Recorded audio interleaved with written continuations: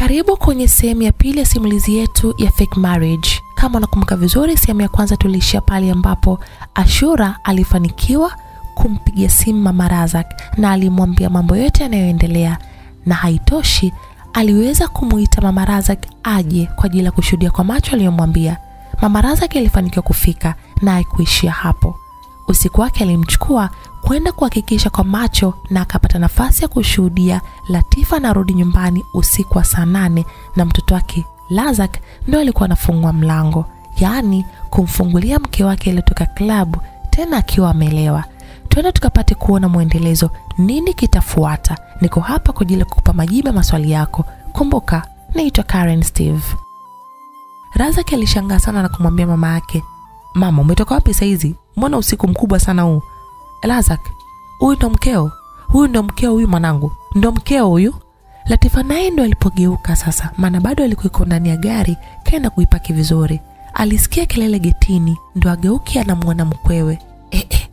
Alishangaa sana, ikabidi asogee kule getini alipokuwa mume wake na mkwewe. Mama, umekuja? Mbona usiku sana mamaangu Jamani, mimi sio mkweo tena, koma binti mimi sio mkweo kabisa, siwezi kuwa mkwe kama wewe. Razak, hapo umeoa umeolewa? Niweke wazi Razak, huyu mwanamke umemuoa wewe au ndikakuwa wewe? Aliuliza mama razaki kwa hasira sana. Mama, naomba tuende ndani tukaongelee ndani, tuzungumze, yani mambo ya familia tunazungumzia ndani, sio nje. Aliongea razaki kwa upole sana kumwambia mama yake, tuingie ndani eh? Tuingie ndani tukazungumze ya mambo ya familia unaongea kwa kinywa kipana mwenyewe.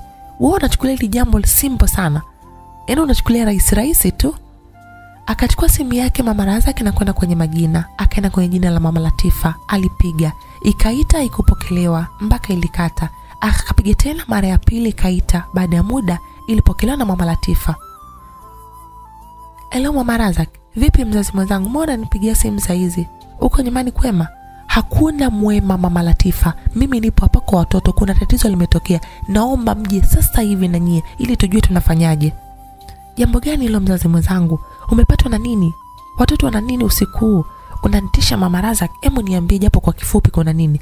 Mama Latifa, naomba uji maana ya mambo mengine hayapendezi kabisa kuongelea kwenye simu. Mama Razak alikata simu kwa mama Latifa akabaki kushangaa. Muda huo baba Latifa naye alikuwa kashamka ikabidi amuulize mke wake Vipi, kuna nini? Kwani ilibidi mama Latifa amweleze mumewe kila kitu alichomena mama Razak, na baada ya kumsimulia baba Latifa alimwambia mkee waende huko huko kwa watoto wakajue kuna nini. Walitoka wakaenda kupanda gari na safari ikaanza kuelekea nyumbani kwa Razak. Safari ilikuwa ndefu kidogo, ila walifika baada ya muda kidogo. Waliingia ndani baada ya kufunguliwa na Razak walienda kupaki na wakashuka kwenye gari. Mama Razak, Latifa na Razak walikuwa pale pale nje, hawakuingia ndani. Kwa hiyo hata wazazi wa Latifa walivyoshuka kwenye gari wakaenda pale pale kwa wenzao, na mama Razak akaanza kuongea kwa jazba sana. Mama Latifa, nimekuja hapa nyumbani kwa watoto, lakini mwanao ndo anarudi nyumbani usiku huu. Ninavyokuambia hapo alipo, hata ndani hajaingia, karudi ananuka pombe vibaya mno. Wazazi wa Latifa walishangaa sana kusikia maneno hayo. Wote wawili walijikuta wanamwangalia Latifa ambaye alikuwa kajiinamia chini kwa aibu. Latifa mwanangu, nini unafanya mamangu? Mbona unanitia aibu namna hii? Unataka nionekane nimekuleaje wewe?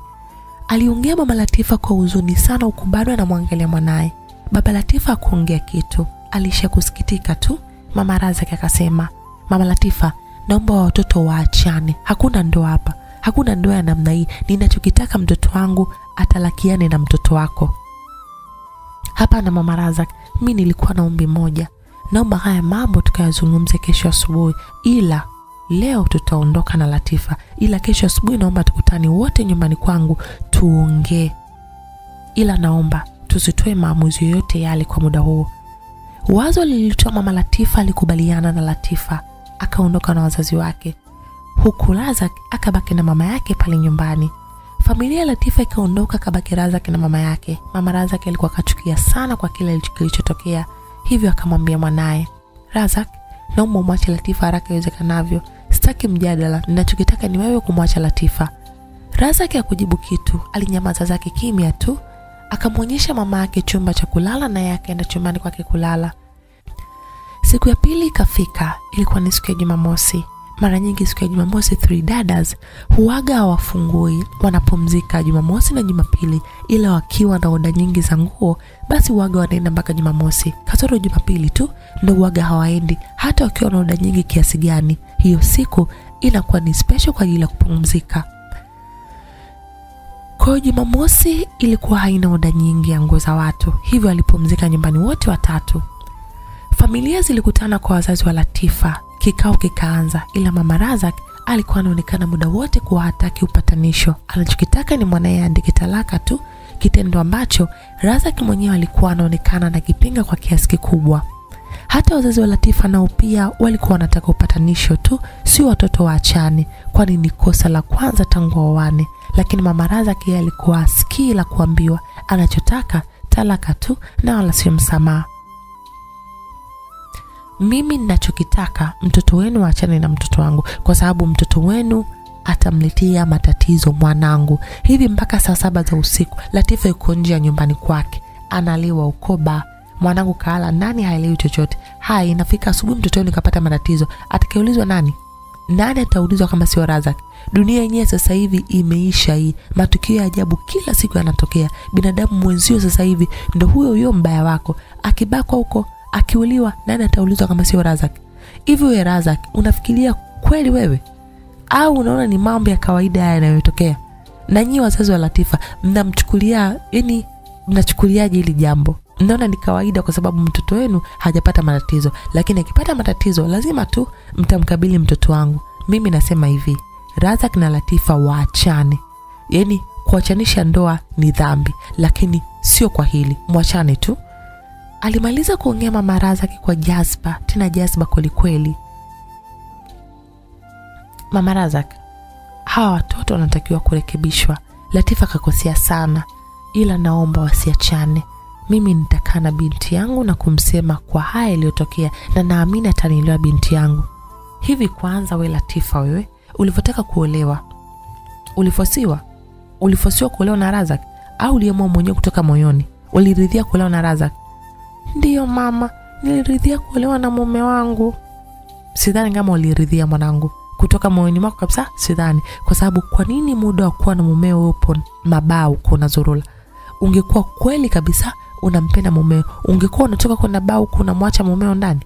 Kwanza hiyo ni ndoa aina gani? Ya namna gani hiyo ndoa? Mke wa mtu unaacha kulala ndani usiku na mumeo unafanya kazi ya kukesha baa. We ndoa ulitaka nini? Kumbe bado hujamaliza stare zako eh? Yaani uliitakia nini ndoa binti? Latifa umeona mambo yako uliyoyafanya? Unaona jinsi unavyontia aibu mwanangu? Kwanza hizo tabia za ulevi umezianza lini mwanangu? Unaliwa namna hiyo mpaka unajisau kama ni mke wa mtu. Kweli mwanangu? Mama latifa alikuwa analalamika. Muda wote latifa alikuwa alikuwepo kimya kaina machini. Hana cha kuongea hana cha kujitetea kwani unanitia aibu namna hiyo mwanangu? Nimekosea wapi katika kukulea latifa mpaka leo unanifanyia haya? Latifa hujui kama ukiwa mke mwema mimi mama yako napata sifa nzuri na ukiwa na tabia mbovu mama yako anapata sifa mbaya. Haya kwa hayo uliyoyafanya ujue kabisa umenitukanisha mwanangu. Naonekana sijakupa malezi mazuri mimi mama yako mimi nataka tufikie mwafaka. Radha akiandike talaka amkabidhi latifa mbele yetu sisi hapa wote tukiwa tunashuhudia hili. Maana haya mambo hapana hayavumiliki kabisa. Kwanza namshukuru sana mungu kwa kujua mapema yanayoendelea kwenye ndoa yenu latifa binti mwenye sura nzuri umbo nzuri mwanangu sauti nzuri una kauli nzuri sana mdomoni ila umekosa tabia njema huna tabia nzuri huna sifa ya kuendelea kuwa na kijana wangu. Ujana unakusumbua latifa. Uendelea na ujana wako ila utakuja kujutia baadaye. Sasa hivi unaona ndio maisha mazuri ila mimi nakwambia latifa hayo sio maisha mazuri hata kidogo. Na nakuhakikishia laiti ningejua tabia zako toka mapema nasema hivi usingeolewa na razak mshukuru mungu sikujua tabia zako hizi mapema maana usingeolewa na kijana wangu. Mama naomba nisamee sirudii tena yaliyotokea. Nisamee mama angu nimekosa mimi. Nimejua kosa langu. Naomba nisamee mama. Unaniomba mimi msamaha? Unaacha kumwomba mumeo unaniomba mimi msamaha. Sasa inahusikana nini? Muombe msamaha mumeo na wala usiniombe mimi maana haunihusu huo msamaha. Latifa alisogea kwa mume huku kapiga magoti, akaenda mbele ya miguu ya mume wake na kumwomba msamaha. Mume wangu, naomba nisamee, nimekosa sana mimi, naomba nisamee mume wangu, sirudii tena kufanya kosa kama hili. Razak alisimama na kumwinua mkewe, akamwambia kukamkumbatia kamkumbatia, nimekusamee mke wangu, naomba usirudie tena kile ulichokifanya. Na kuahidi Razak, sitarudia tena kufanya makosa kama haya. Eh? Razak, unasemaje? Umemsamea huyu mwanamke wako? Hivyo mtoto una shida wewe au umerogwa? Unamsamea huyu mwanamke kwa yote alokufanyia na bado unamsamehe Hivi akili zako zinafanya kazi vizuri kweli? Mama, mi nimeamua kumsamehe mke wangu. Sitaki kusikia cha kumsamehe mke wangu. Ninachokitaka ni kumpa talaka huyu mwanamke. Sitaki kusikia kingine chochote kile. Razaki alinyamaza kimya kuongea chochote kile kumwambia mama yake ambaye alikuwa anaonekana na jaziba sana. Baba Latifa alijiweka sawa ili azungumze baada ya kukaa kimya kwa muda mrefu. Mama Razak, tunajua binti yetu kakosea sana tena sana. Kwa kifupi, binti yetu katutia aibu sana, kwa sababu kwanza hatukumlea hivyo, tulimlea vizuri sana kwa maadili yote, mpaka anatoka hapa nyumbani na kwenda kwa mume wake, hakuwahi kunywa pombe wala kwenda kwenye hizo sehemu za starehe za usiku. Lakini sasa, yani sio yani, sasa hivi anaenda na anarudi saa saba za usiku nyumbani kwake. Ndo hicho ambacho na sisi wazazi wake tunajiuliza, hatupati majibu. Hizi tabia huyu mtoto kazianza lini? Mtoto wetu katoka hapa akiwa na tabia njema sana. Mimi hayo sitaki kuyajua, siataki kabisa. Yani ninachotaka ni hao watoto waachane tu basi. Huyo binti yenu apate mwanaume mwingine wa kumwoa na kijana wangu atapata mwingine wa kumwoa, ila kwa wao hapana, tufanye wamemaliza.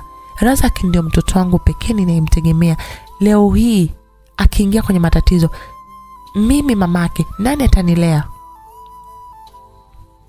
Uh, mama Razak, unachokiongea ni kweli kabisa, ila mzazi mwenzangu, naomba tuwape nafasi watoto ya kuwasikiliza kwanza, tuwasikilize wao wenyewe, maana wenyewe wana misimamo gani.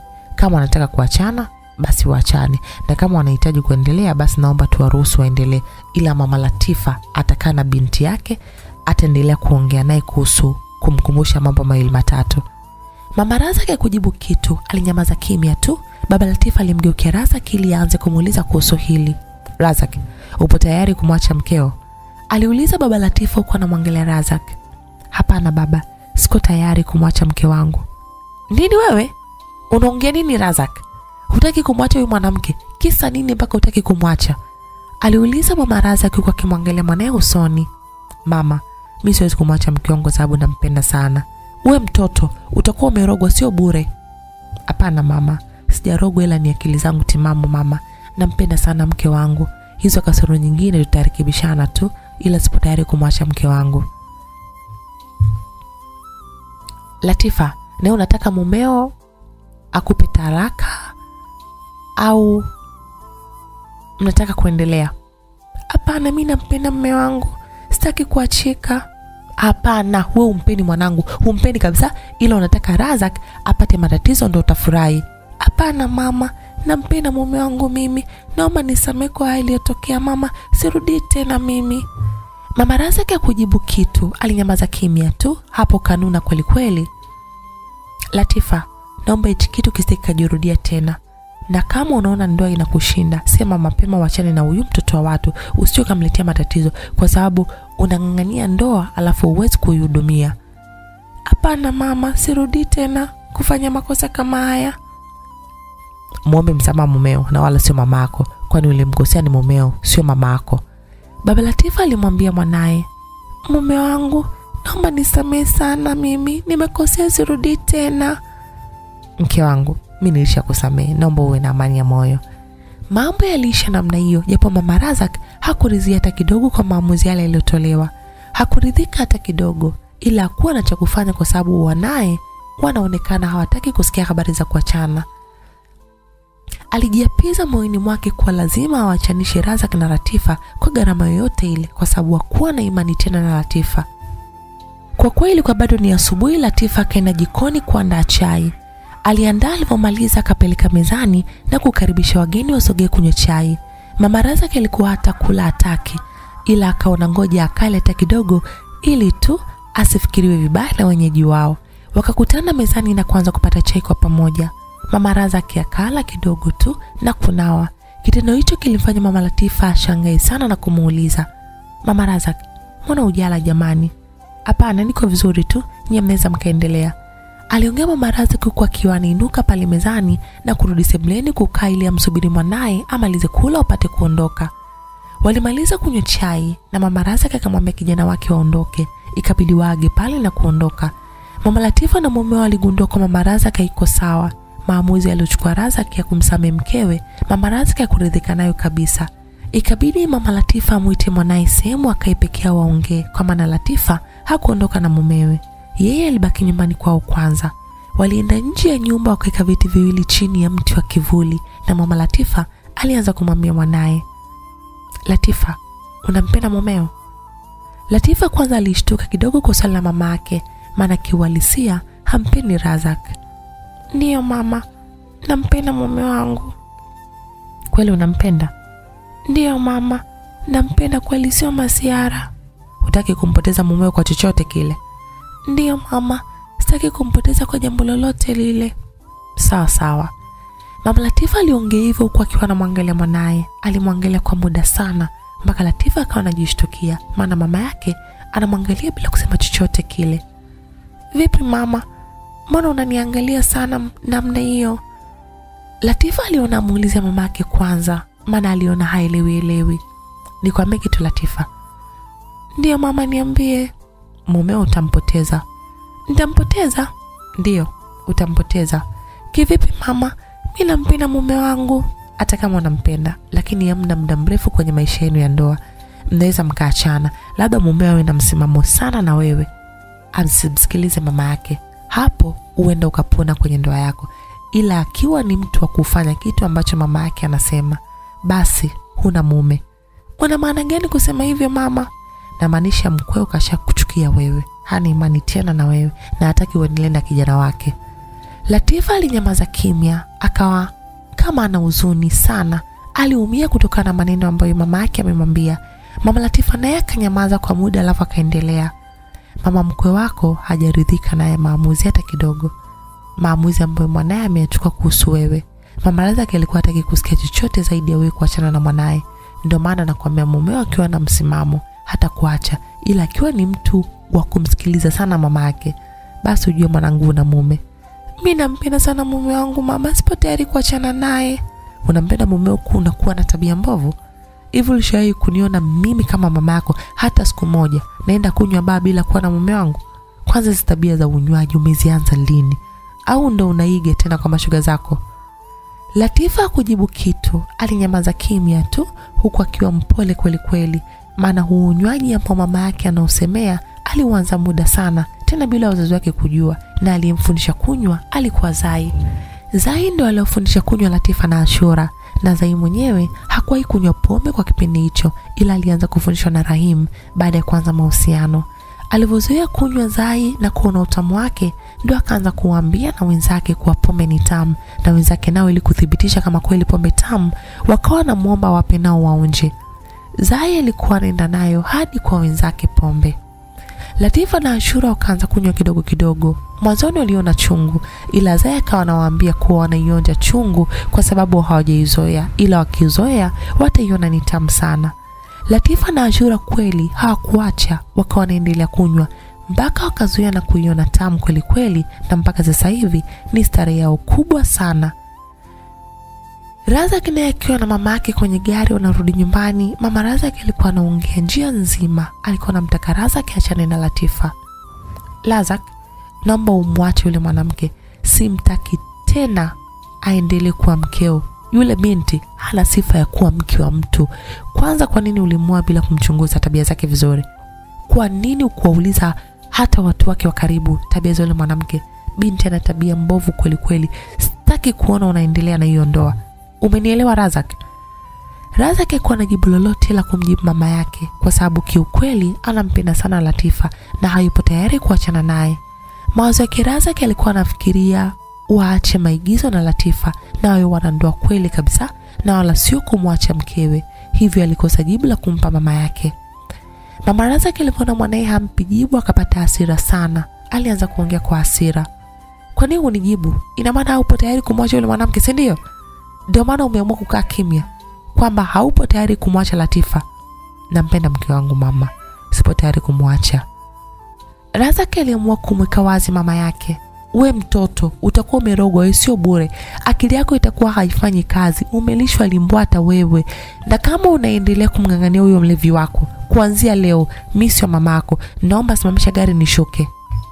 Razaki kusimamisha gari, aliendelea kuendesha tu, huku mama naye alikuwa anaendelea kuongea kwa hasira. Nimesema simamisha nishuke. Razaki alisimamisha gari ili aongee na mama yake, ila kitendo cha kusimamisha gari, mama yake alifungua mlango wa gari na kutoka nje. Razaki alishangaa sana, ikabidi na yeye ashuke ili ampate mama yake.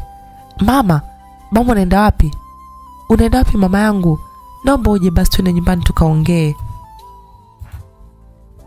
Kama mimi ni mama yako na unataka kuongea na mimi, nataka umwache yule mwanamke kwanza. Hapo mimi na yeye tutaongea na kuelewana, ila kama utaendelea kumng'ang'ania yule mwanamke wako, naomba futa kama mimi ni mamako.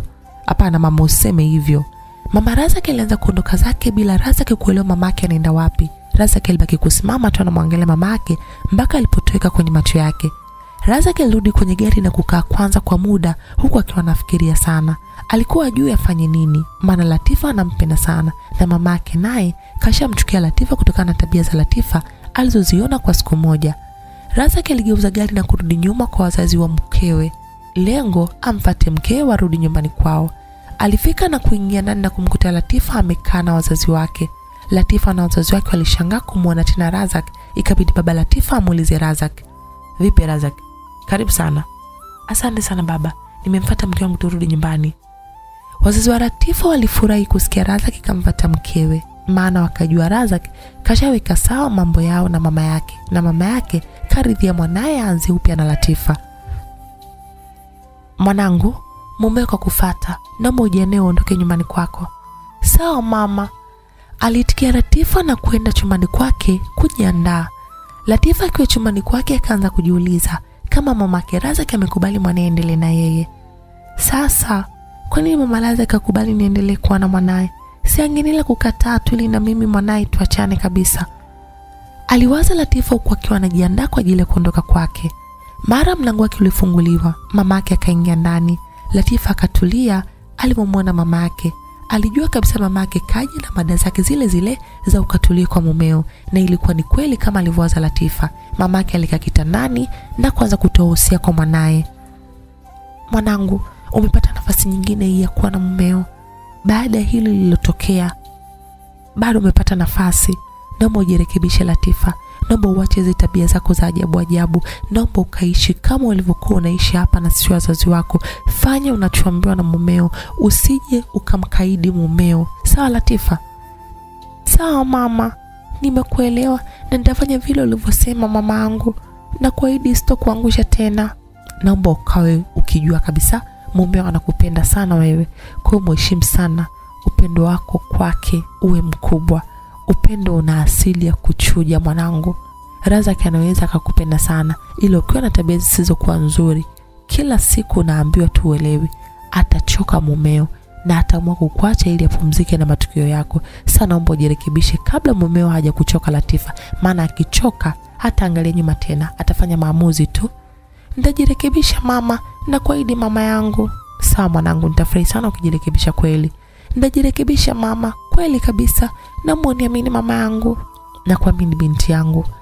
Alimaliza kujiandaa wakatoka sebleni yeye na mama yake. Razak alimchukua mke wake, wakawaga wazazi wao na kuondoka zao kwenda kupanda gari kurudi nyumbani kwao. Huku mama Razak alifika kwa Ashura. Alivyotoka kwenye gari la mwanaye, akafuata sehemu tulivu, akachukua simu yake na kumpigia Ashura amfate. Akauliza alipo, akaambiwa na kumwambia Ashura alipo. Ashura alichukua usafiri wa bodaboda, alimfuata mama Razak pale alipomwambia. Alimchukua na kwenda naye nyumbani kwake. Walifika tu nyumbani baada ya kuingia sebleni. Ashura akamuuliza kilichotokea huko alipoenda. Mhm. Mama, imekuwaje jana usiku? Aliuliza Ashura huku akiwa anakaa vizuri kwenye kochi. Mwanangu, jana usiku ilikuwa ni balaa tifu la maana. Sikukubali nikawaita wazazi wa Latifa ili waje kushuhudia ujinga wa mtoto wao. we wakaja ndiyo amekuja wasije tena. Mm-hmm. walivyofika baada ya kuwaambia wakasemaje? Nao walisikitika sana kwa yale ambayo amewafanya mtoto wao. Mm. maamuzi akawa nini sasa? Maamuzi atuchukua usiku ule. Tulielewana tuzungumze hilo jambo asubuhi ya leo. Kwa hiyo ndo mshazungumza au bado? Mm. pale nilipokupigia simu nifate ndo tulikuwa tumetoka kwenye hicho kikao chao. Eh, eh. kumbe ndio ndo mlikuwa mmetoka kwenye kikao muda ule? Ndiyo ndo tulikuwa tumetoka kwenye hicho kikao. Uh-huh. maamuzi alikuwa nini kwenye hicho kikao? Maamuzi ya kijinga sana ndio yalionifanya nichukie sana na kugombana na razak. Kwa nini kwani razak ameamua nini? Razak alichomua anampenda sana mkewe na hawezi kumwacha. Hata iweje na latifa akajibaraguza pale kaomba msamaha. Yaani eti kasema hatarudia tena muongo latifa mama muongo kabisa anadanganya hawezi kuacha tabia yake kwenda klabu hivi ninavyokuambia leo kashapanga na wenzake leo usiku waende klabu maneno yale ya ashura alizidi kumkera na kumkasirisha mama razak. Alizidi kumchukia sana latifa akasema kwa hasira. Nasema hivi razak na latifa lazima waachane kwa gharama yote ile ila lazima waachane. Siwezi kukubali kuona mwanangu anaishi na mwanamke kama yule. Mwanamke gani yule asiyejali ndoa yake hata kidogo? Watu kama wale wakiwa hawajaolewa wanazililia ndoa. Wakiolewa tu wanazichezea ndoa. Mama kweli fanya chochote unachoweza kufanya ila latifa na razaki waachane mama. Maana latifa hafai kuwa mke. Anapenda sana starehe kuliko anavyompenda mume wake. Hawezi kutulia kabisa ndani yule. Hawezi hata kidogo siwezi kuvumilia kuangalia ujinga kama huu anaofanyiwa mwanangu. Kwa sababu kaidi atabadilika ila sioni dalili ya kubadilika yule binti. Mama latifa abadiliki kama huamini. Niwe nakupa taarifa zake kila siku akienda klabu. Kweli mwanangu naomba unaniambia taarifa zake. Kila akienda klabu we niambie. Maana naona mumewe anamtetea sana huyu mwanamke wake. Sijui karogwa yule. Sawa mama usijali kwa hilo. Hakuna shida. Nitakuwa nakupa taarifa zake mamaangu kila akienda klabu ila jitahidi mamangu, latifa achane na mwanao maana latifa sio mwanamke wa kuwa na mwanao kabisa sio. Waachane tu razaki atake asitake lazima waachane. Latifa alifika nyumbani na mumewe. Siku hiyo aliamua wasitoke kwenda popote pale. Waliamua kukaa tu nyumbani kwao. Walipika kwa pamoja na wakala na kukaa sebleni kupiga stori lazak unajua kuna jambo tumekosea tangu mara ya kwanza. Na hilo jambo ndo linalotukosi sasa hivi. Jambo gani hilo? Huwa ulitakiwa usiwalete wazazi wako hapa. Kwenye yani ulitakiwa usiwalete wazazi wako halisi kwenye hili jambo. Nisiwalete wazazi wangu halisi? Unamaanisha nini kusema hivyo? Namaanisha wazazi wako na ndugu zako walitakiwa wasijue hii ndoa ya mchongo. Ina maana ungeleta wazazi feki ili wazazi wako wasijue kama umeoa. Eh, eh. latifa upo serious kweli na unachokisema? Ndio nipo serious. Ungeleta wazazi feki maana hata ndoa yenyewe pia ni feki vile vile. Sasa umeleta wazazi original wa kazi gani? Ona sasa wao wanachukulia mambo serious kumbe si wenyewe hatupo huko kwenye userious. Razaki ya kuongea kitu alinyamaza kimya tu maana alivyoona anachokiongea latifa hata kielewi kabisa. Alikaa kimya kwa muda mrefu sana baadaye akasema ili jambo nahisi kuna mtu tu ambaye amemwambia mama yangu sio rahisi mama razaki kujua kinachoendelea kati yangu mimi na wewe maisha tunayoishi. Mm. ila ulichokisema kweli lazak kweli kabisa. Kwa hali ya kawaida sio rahisi mama kujua mambo yanaendeleaje huko. Lazima kutoka kuna mtu anayetuzunguka bila sisi kujua latifa. Sasa sijui atakuwa nani. Hata mi sielewi atakuwa nani huyo na lengo lake ni nini walikaa kimya kwa muda mrefu kidogo kila mmoja alifikiria lake kichwani. Na baadaye walijikuta wanaacha elimada mada na kuongea mambo mengine. Walikaa muda mrefu sana pale sebleni huku wakiwa wanapiga stori mpaka muda wa kulala ulipofika kila mmoja aliingia chumbani kwake kujipumzisha. Siku ya pili ikafika mama Razaki akaondoka zake kurudi nyumbani kwake. Ashura alimpatia nauli na kumsindikiza stendi. Waliagana huku wakielewana kupiana habari za ratifa.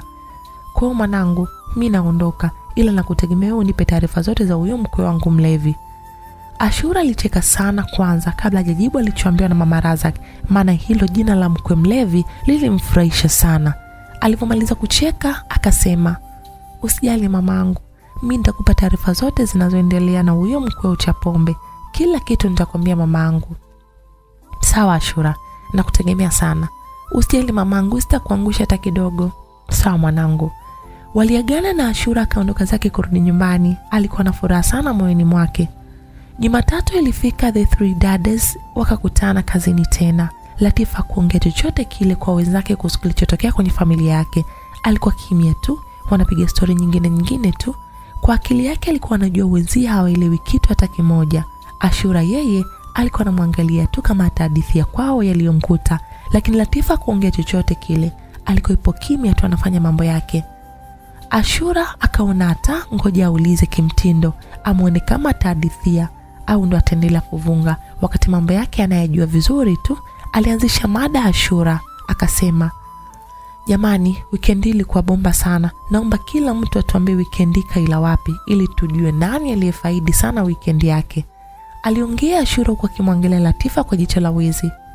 Nikianza mimi, wikendi hii nilienda kula nyumbani nikiwa nimepata mgeni wa muhimu sana, tukafurahia weekend kwa pamoja. Aliongea Shula kwa furaha huku akiendelea kumwangalia na kuangalia mudi ya Latifa jinsi inavyokuwa. Latifa ilikuwa iko poa tu, tena na furaha zake kama zote, yupo tu na amani, tena amani tele moyoni mwake. Ashura akamwambia Zai aseme wikendi hii alienda wapi. Mhm, Zai, nawe wikendi ulikuwa wapi? Ah, weekend nilikuwa nyumbani kwangu. Muda mwingi nilikuwa niko busy kuongea na baby kwenye video call. Aliongea Zai kwa kana anaringaringa kwa masiara fulani hivi. Ashura alimgeukia Latifa kwa akiwa na tabasamu na kumwangalia, akamuuliza alipokuwepo. -hmm. Latifa, na wewe weekend ulikuwa wapi? Weekend hii nilienda kwa mama Latifa kufurahia maisha na mama angu. Wow, raha sana jamani. Natamani nami ningekuwa na mama angu bado yuko hai jamani. Mwa ningekuwa naenda na mimi kudeka. Aliongea Zai. Ndo hivyo mama, kazi yake Mola ina makosa. Kikubwa ni kuendelea kumwombea mama apumzike kwa amani. Kila siku siache kuombea wazazi wangu wapumzike kwa amani, na Mwenyezi Mungu atawapumzisha kwa amani inshallah. Aliongea Latifa, kitu kilichofanya wenzake wacheke sana, maana alikuwa hawezi kutamka vizuri neno inshallah.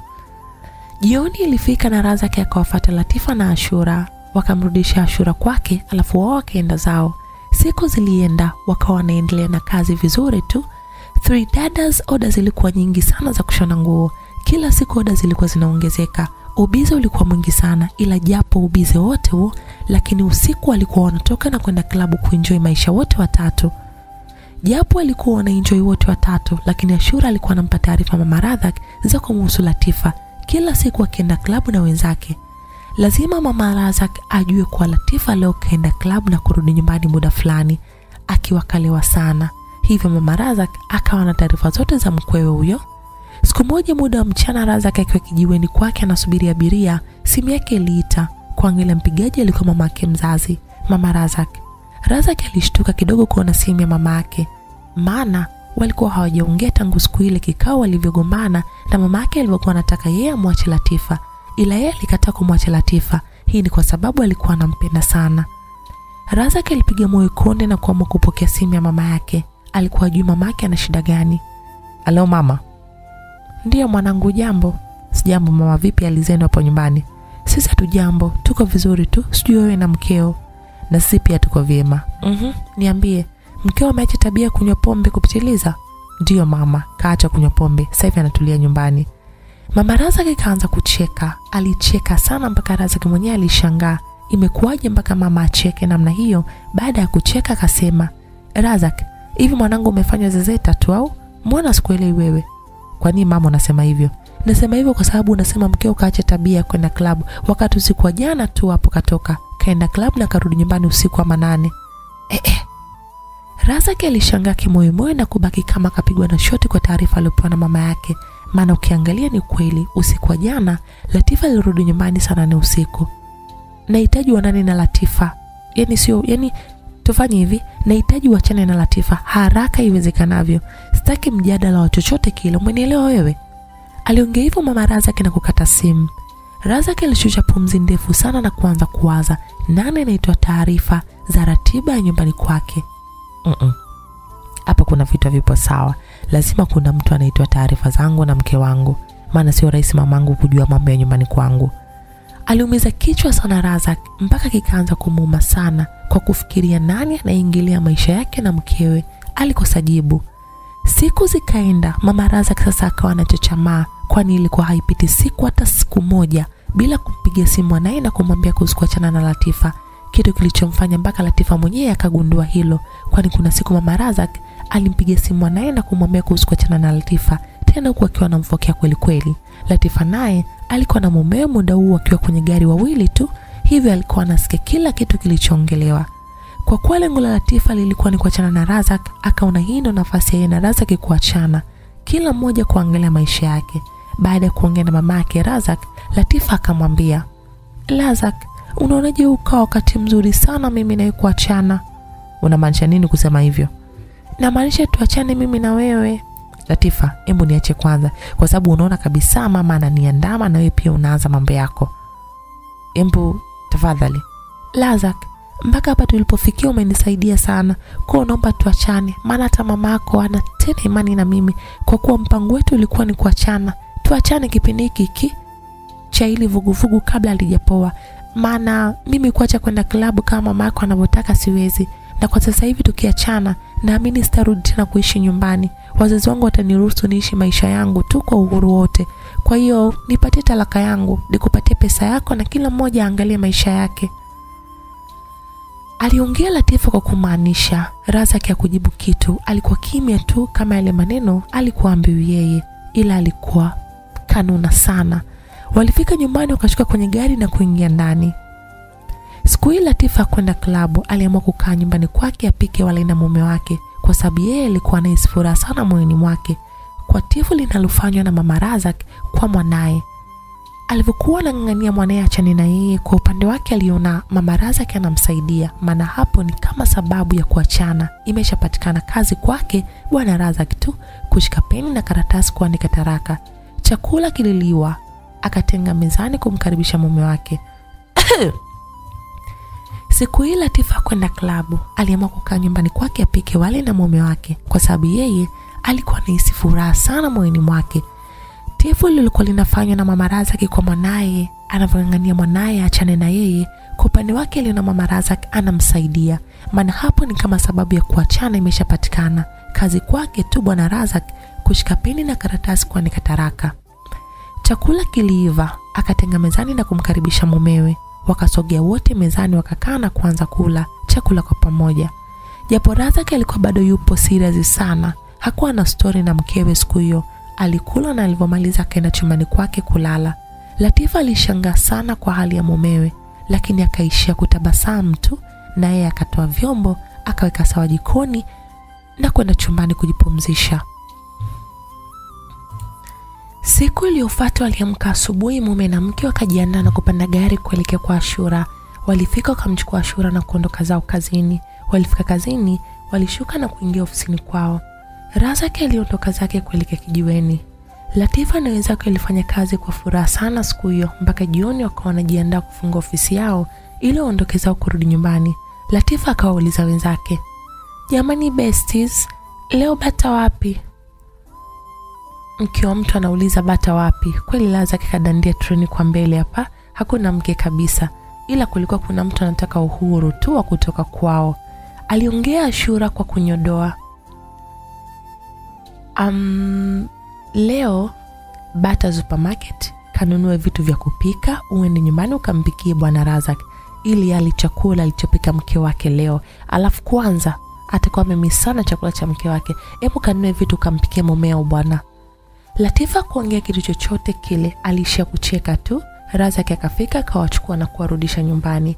Latifa alipofika nyumbani akajiandaa, akapanda gari yake na kuondoka kwenda kulabata, maana maneno ya rafiki zake yalikuwa hayamzuii kufanya stari zake anazozitaka. Latifa kuwahi kuacha kufanya stari zake, alifanya yake muda wote aliojisikia kufanya. Mkwewe alikuwa anapata taarifa zake kila siku akienda klabu. Mama Razak akawa na anachochamaa kumwambia Razak achane na Latifa. Alikuwa anamsumbua sana mwanaye kutaka waachane na mkewe. Huku nako Latifa kuwa nyuma, alikuwa naye katishama kweli kweli kutaka kuachana na Razak.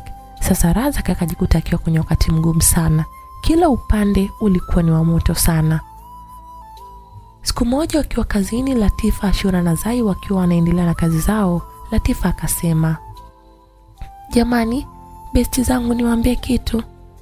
Kitu gani? Ashura aliuliza. Mwenzenu mimi muda wowote sasa naweza kuwa singo ee e. Wenzake walishangaa sana na kushtuka juu, ikabidi waulize shida mpaka mwenzao anasema hivyo. Wakajikuta wanauliza kwa pamoja, kwa nini uwe singo Kwa sababu siwezi kuhudumia ndoa na starehe. Hivi una akili wewe? Kwa ndoa na starehe unaona bora starehe kuliko ndoa? Aliuliza Zai kwa hasira. Ndiyo Zai, nachagua starehe. Mie naachia ngazi ndoa ili niwe bize na starehe zangu. Ashura alijikuta anacheka sana, alicheka mno mpaka machozi akawa yanamtoka kwa kucheka, huku Zai akiwa anamwangalia Latifa kwa jicho la huruma, lile jicho la maskini ya juu alitendalo. Zai akasema kwa upole sana, Latifa, umepata mume mzuri sana, mpole, mstaarabu. Mbona ana shida mkaka wa watu jamani? usitei talaka rafiki yangu, utakuja kujijutia baadaye kumpoteza mumeo. Aliongea Zai kwa kumaanisha sana. Wala Zai, unafikiri nitajutia? Hapana, sitakuja kujutia hata siku moja. Muda wote Ashura alikuwa kashamaliza kucheka, yuko zake bize, yuko bize na kazi zake. Zai akamwangalia Ashura na kumwambia, Ashura, mbona upo kimya muda mrefu? Unasikiliza ujinga tu anaosema Latifa. Hebu nawe mshauri asida, asidai talaka. Sasa mimi ni mshauri nini jamani? Kama kaamua kuachika, si achike tu. Mbona si wengine hatujaolewa na maisha yanaendelea vizuri tu? ye akiamua kuachika achike tu, maana utamwa ndoa na uchungu wa ndoa anaujua yeye mwenye ndoa, na sisi wengine wacheza pembeni. Wala huo sio ushauri mzuri kwa mwenzako, maana huyu hana uchungu wa ndoa wala utamu wa ndoa. Ujana tu na unamchanganya akili. Hakuna kuachika kwa mumeo hapa, yaani yule ndo mumeo miaka mia, aliongea Zai. Latifa kujibu kitu, akaisha kucheka tu. Wakaendelea na kazi mpaka jioni. Walifunga ofisi yao na kuondoka zao majumbani. Kipindi hichi Latifa alionekana kukomalia sana talaka. Akikutana na mumewe nyumbani, hakuna stori nyingine zaidi, nataka talaka yangu. Razak, nipe talaka yangu. Kila mmoja angalie maisha yake. Mbona umekuwa mzito kwenye kipengele cha kutoa talaka? Mi naonekana waovyo sana uko nje mbele za watu, kwa sababu mimi na wewe hatuishi kama mme na mke, tunaishi kama washikaji tu, ila nje wanajua mimi na wewe ni Mr. and Mrs. na wananiona mimi sikutendei haki na kudharau kwa mambo yangu ninayoyafanya. Mamako ananiona mimi ni binti niliyeshindikana, wazazi wangu wananiona mimi ni waovyo, hata marafiki zangu kazini wananisema sana kwa maisha tunayoishi mimi na wewe, ila hao wote hawajui ukweli uliopo, ndio maana wanaongea. Ila ukinipa talaka yangu kila mmoja ataendelea na maisha yake, wataacha kunilaumu, maana mimi sasa hivi naonekana mbaya kwa kila mtu. Aliongea Latifa akiwa na mumewe chumbani kwao. Lazaki hakumjibu kitu, alinyamaza kimya tu, licha ya kupewa mineno ya maana. Mara simu ya Radhaki ikaita. Kuangalia mpigaji alikuwa mama yake. Akainuka Razaki akaongea pembeni kidogo kwa ajili ya kutaka kupata usikivu. Alo mama, shikamoo. Maraba mwanangu, jambo? Jambo mama, sijui mnaendeleaje huko nyie? Sisi tunaendelea vizuri tu kijana wangu.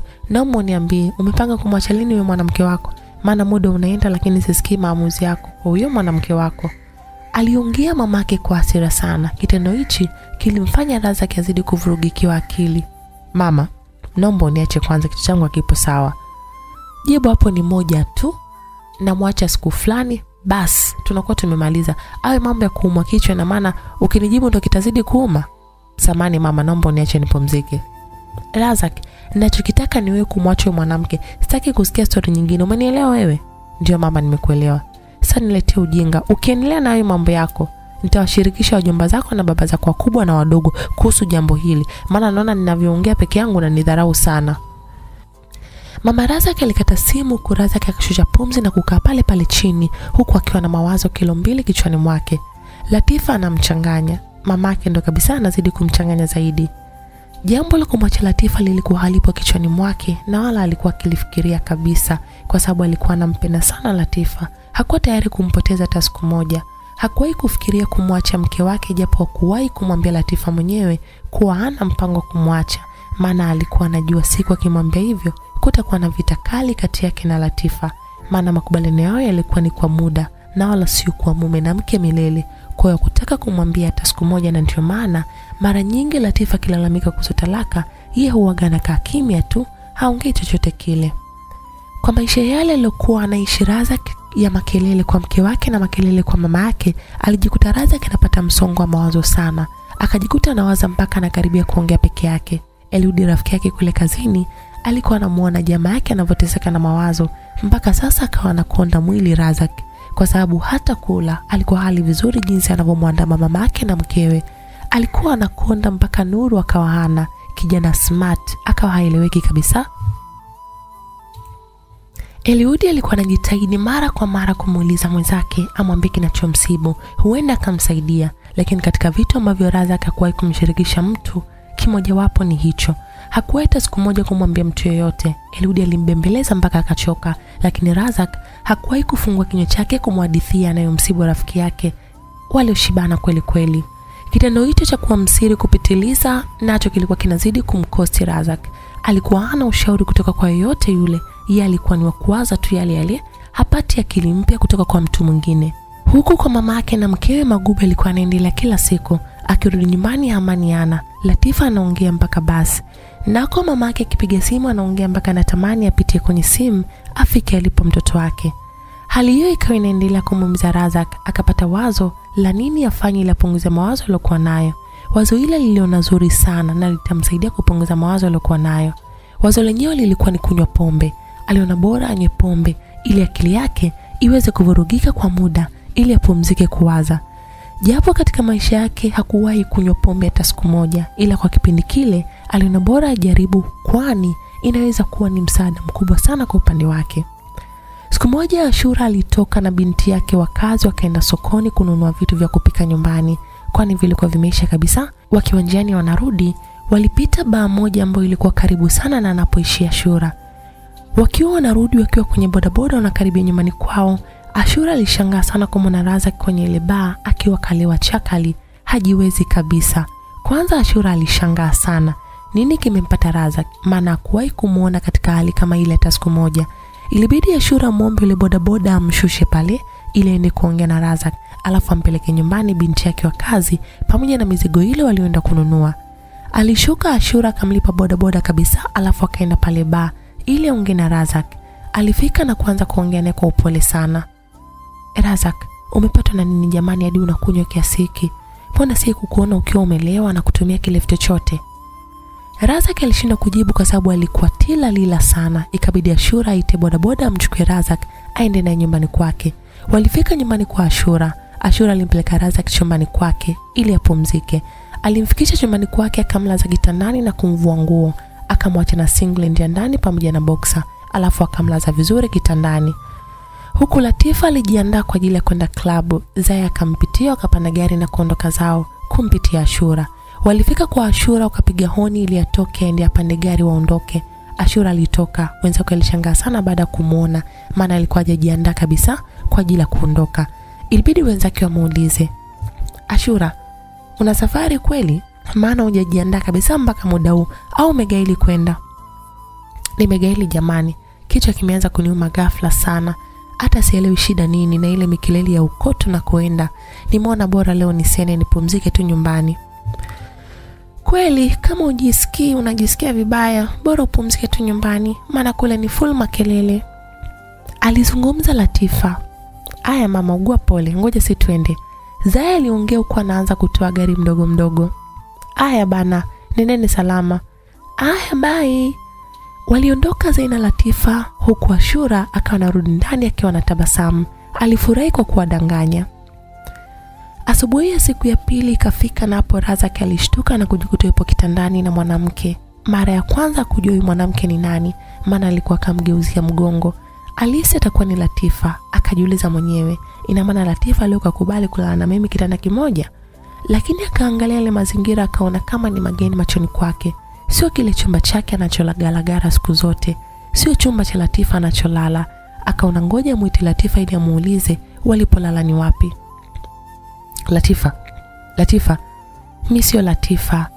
Razak alishangaa sana baada ya kumwona Ashura pale kitandani. Alishangaa sana kumwona Ashura, akamuuliza Ashura, tunafanya nini hapa kitandani?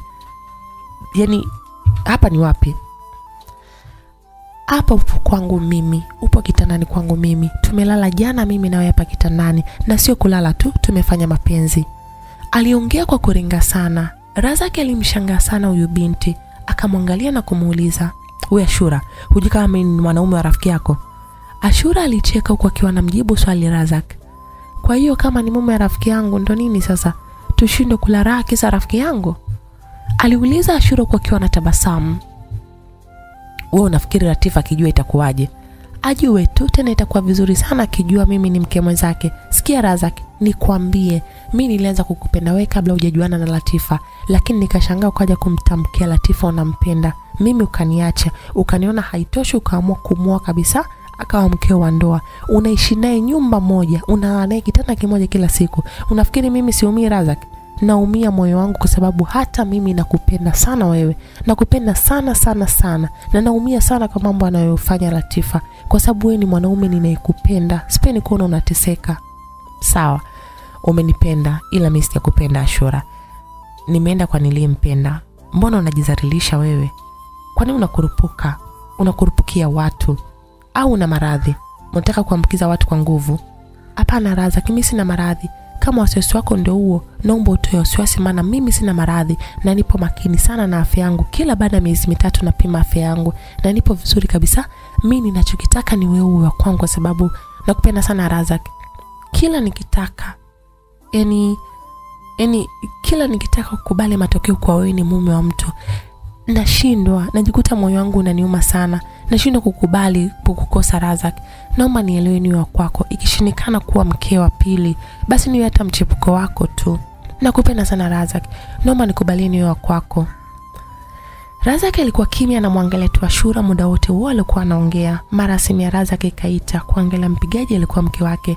Razak alipokea haraka haraka na kusema halo mke wangu samani usiku jana nilala kwa rafiki yangu ila nikajisahau kupata taarifa. Maana nilikuwa nimechoka sana. Usijali raza kena haja kujieleza sana. Mi nimekupigia ili nijue kama umeamka salama.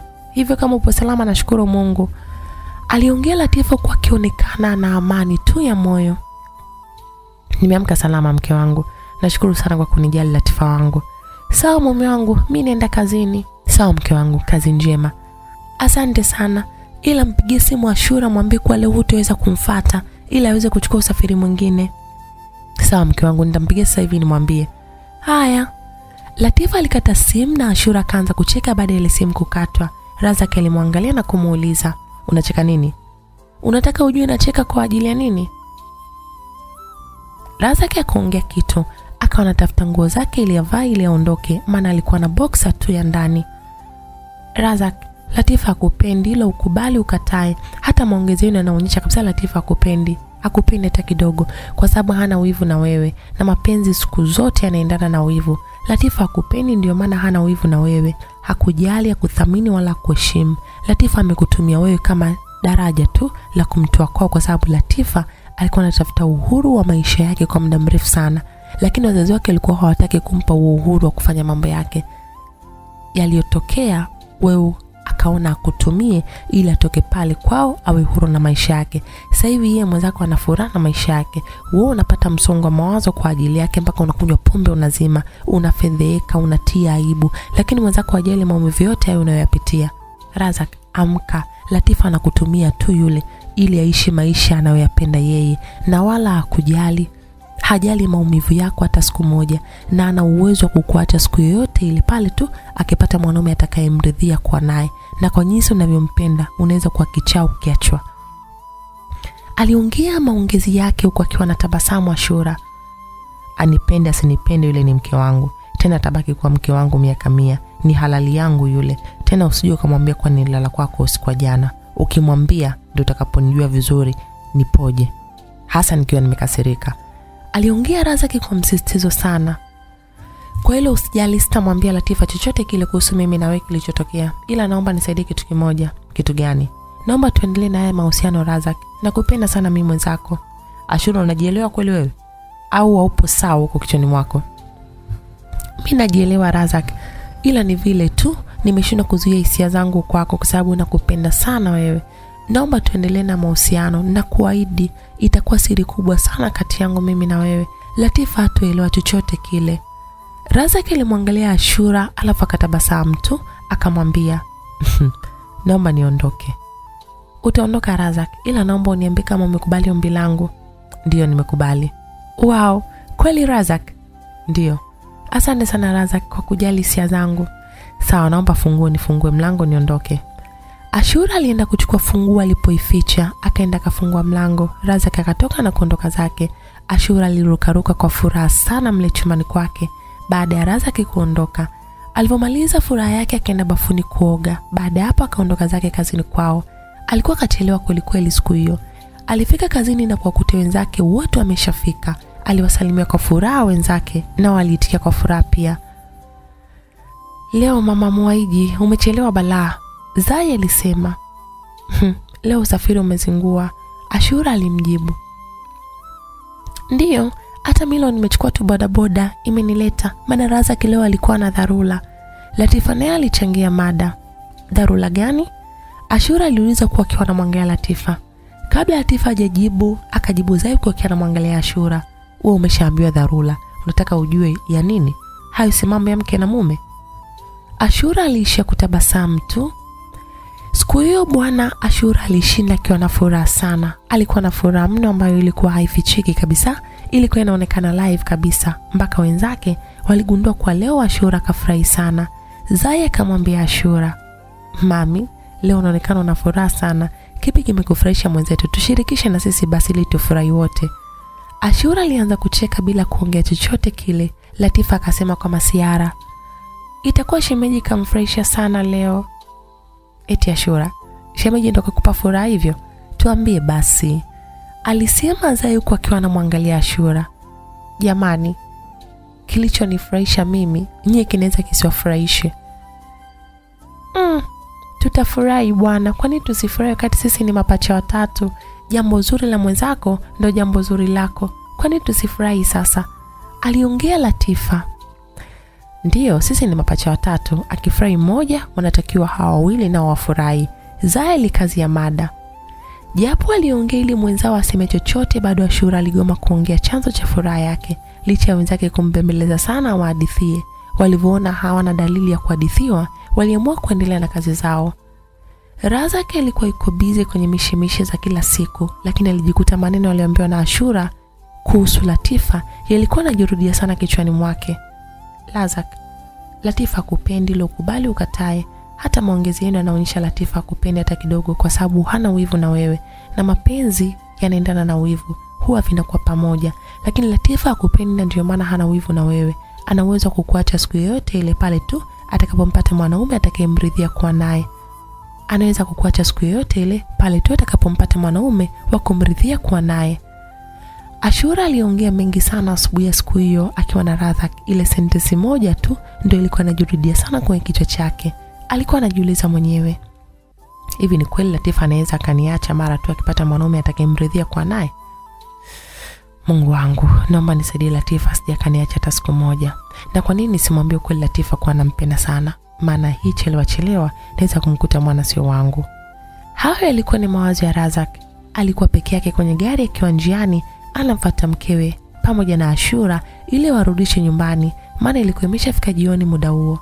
Alifika akawachukua na safari ikaanza ya kurudi nyumbani. Wakiwa njiani, kila mtu alikuwa na mawazo yake. Ashura alikuwa na mwaza Razak, hivi Razak ni kweli kakubali kuwa na mimi au kanizingua tu ili asubuhi apate kuondoka zake? Mbona kama simwamini amini? Aliongea mwenyewe Ashura huku akiwa anamwangalia Razak kwa macho ya wiziwizi. Razak naye yakuwa nyuma kwenye kufikiria, alikuwa anamfikiria mkewe Latifa jinsi ya kumwambia anampenda sana. Alikuwa anamwangalia mkewe macho ya chini chini. Nampenda sana mke wangu, sipo tayari kumpoteza. Lazima nimwambie kuwa nampenda kweli na sio maigizo kama anavyotaka yeye. Siwezi kuruhusu Latifa achukuliwe na mwanaume mwingine wakati mimi nipo na nampenda sana. Latifa naye yakuwa nyuma kwenye mawazo. Yeye alikuwa ametulia mwenyewe, ameegemea kiti chake. Kama anataka kusinzia hivi, ila alikuwa hata asinzii. Alikuwa tu na mawazo yake. Jana nilirudi na bia zangu tatu, nilivyorudi usiku, alafu nikaziweka kwenye friji. Mpaka sasa hivi zitakuwa zimekuwa za baridi hatari, na mimi ninavyopenda bia ya baridi, mbona nitaenda kufaidi sana leo. Hapa nikifika tu chakanza kunywa bia zangu, alafu hizo kazi nyingine zitafuata nikiwa tayari nimesha chamba koo. Hayo yalikuwa ni mawazo ya Latifa. Waliendelea na safari, wakafika kwa Ashura. Ashura akashuka na kuaga huku akiwatakia safari njema. Walitikia na kuendelea na safari yao. Walifika nyumbani na cha kwanza Latifa alichokifanya ni kutoa bia zake kwenye friji na kukaa kwenye kiti. Akafungua na kuanza kunywa taratibu kabisa bila haraka. mume alivyomwona alicheka sana na kumwambia mke wake, kwa ulivyokuwa kazini ulikuwa unafikiria bia zako? Yaani mume wangu yacha tu, akili yangu yote ilikuwa nyumbani kwenye friji. Nilikuwa naomba muda uende haraka haraka ili niwahi bia zangu. Razak aliishia kucheka tu na kwenda zake chumbani kwake kujipumzisha. Razak alikuwa anavuta pumzi ya kumwambia mkewe alichopanga kumwambia. Kila akifikiria akimwambia jambo hili, huenda Latifa atakasirika, maana anamjua mkewe, hataki kusikia mambo ya ndoa ya kudumu. Alijikuta anapitia wakati mgumu sana Razak, kwa sababu alikuwa anatamani kumwambia mkewe ukweli, ila akawa anaogopa kumkera, hivyo akawa anashindwa kuzungumza chochote kile akiwa pamoja na mke wake. Siku zilisogea, Razak na Ashura wakawa na mahusiano ya kimapenzi kwa siri sana, ili Latifa asijue chochote kile. Siku moja muda wa mchana akiwa kazini, wote watatu, Ashura simu yake ikaita. Kuangalia mpigaji alikuwa ni mama Razak. Alifurahi sana Ashura, akaona mama Razak kamkumbuka. Alichukua simu yake na kutoka nayo nje ili aongee naye. Alifika nje akapokea. Alo mama, shikamo. Maraba mwanangu, vipi hali yako? Unaendeleaje? Mama, mimi sijambo mama, sijui nyi huko nyumbani.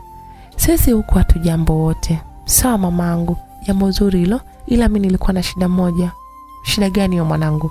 Shida yangu mama, nimekumisi mwenzako, natamani kukuona. Hata mi mwanangu, nimekumisi sana.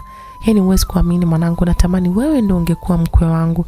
Ningefurahi sana sana, maana nikija kwako napata amani ya moyo sana, ila sio kwa Latifa. Nyumba ikaliki ile nyumba ya moto balaa, na huyo Raza kikagoma kabisa kumwacha huyo shetani wake. Nikwambie kitu mama, niambie mwanangu. Latifa ampendi Razak, ila Razak ndo anamng'ang'ania Latifa kwa sababu Latifa anadai talaka kwa Razak kila siku, ila Razak kutoa talaka hataki kwa sababu anampenda sana Latifa. Lakini mwanamke anaonekana kabisa hamtaki mwanaume, ila mwanaume ndio anamng'ang'ania bibie. amtaki mume? Ndiyo, amtaki mwanaume. Sasa kwa nini alitaka kuolewa? Yule hakuitaka ndoa, ila alitaka tu kuondoka kwao. Hana shida na mume, ila shida ni starehe tu. Kumbe shida yake ndo hiyo. Ilikuwa hivyo pia. Ndiyo mama. Basi kafanikiwa, maana mwanangu atamwacha tu, ila amrudishie mwanangu gharama zake zote alizomuolea, kuanzia mahari mpaka gharama za shughuli alizotumia mwanangu, amrudishie, alafu kijana wangu ndo amwache. Hivyo vitu vyote Latifa kutoa ashindwi mama, ila Razaki mwenyewe hajataka, ila angetaka basi angesharudishiwa. Ongea na mwanao vizuri, ili aridhie kumpa talaka mwenzake. Sawa, mi nitaongea naye. Sijui kwa nini anamng'ang'ania mtu ambaye anaonyesha kupendi kabisa. Ndo hivyo mama, mapenzi. Huwezi kujua kampenda kiasi gani mwanamke wake. Ampende asimpende, lazima amwache. Sawa mama, mi nitafurahi sana siku akiachana watu hao wawili, kwa sababu Razak anateseka sana na huyu mwanamke. Lazima waachane hawa watu mwanangu. Mama Razak alikata simu na Ashura naye akarudi ofisini kwake kuendelea na kazi zake. Mama Razak alivyomaliza kuongea na Ashura, alimpigia mwanaye Razak kwa hasira sana. Razak alipokea simu ya mamake na hapo mamake akaanza kuongea tena bila hata salamu. Nataka uniambie umefikia wapi kwenye kumwacha Latifa? Shikamo mama. Sina haja ya shikamo yako, ninachokitaka kujua kutoka kwako ni lini unamwacha huyo binti. Sijafikia popote na wala sifikirii kumwacha mke wangu. Kumbe bado hujafikiria kumwacha? Hivyo mtoto, unanitafuta nini mimi? Au unanifanyia hivyo kwa sababu babako amefariki? Ndio maana unanidharau? Babako ungekuwepo ungefanya yeye unayoyafanya sasa hivi?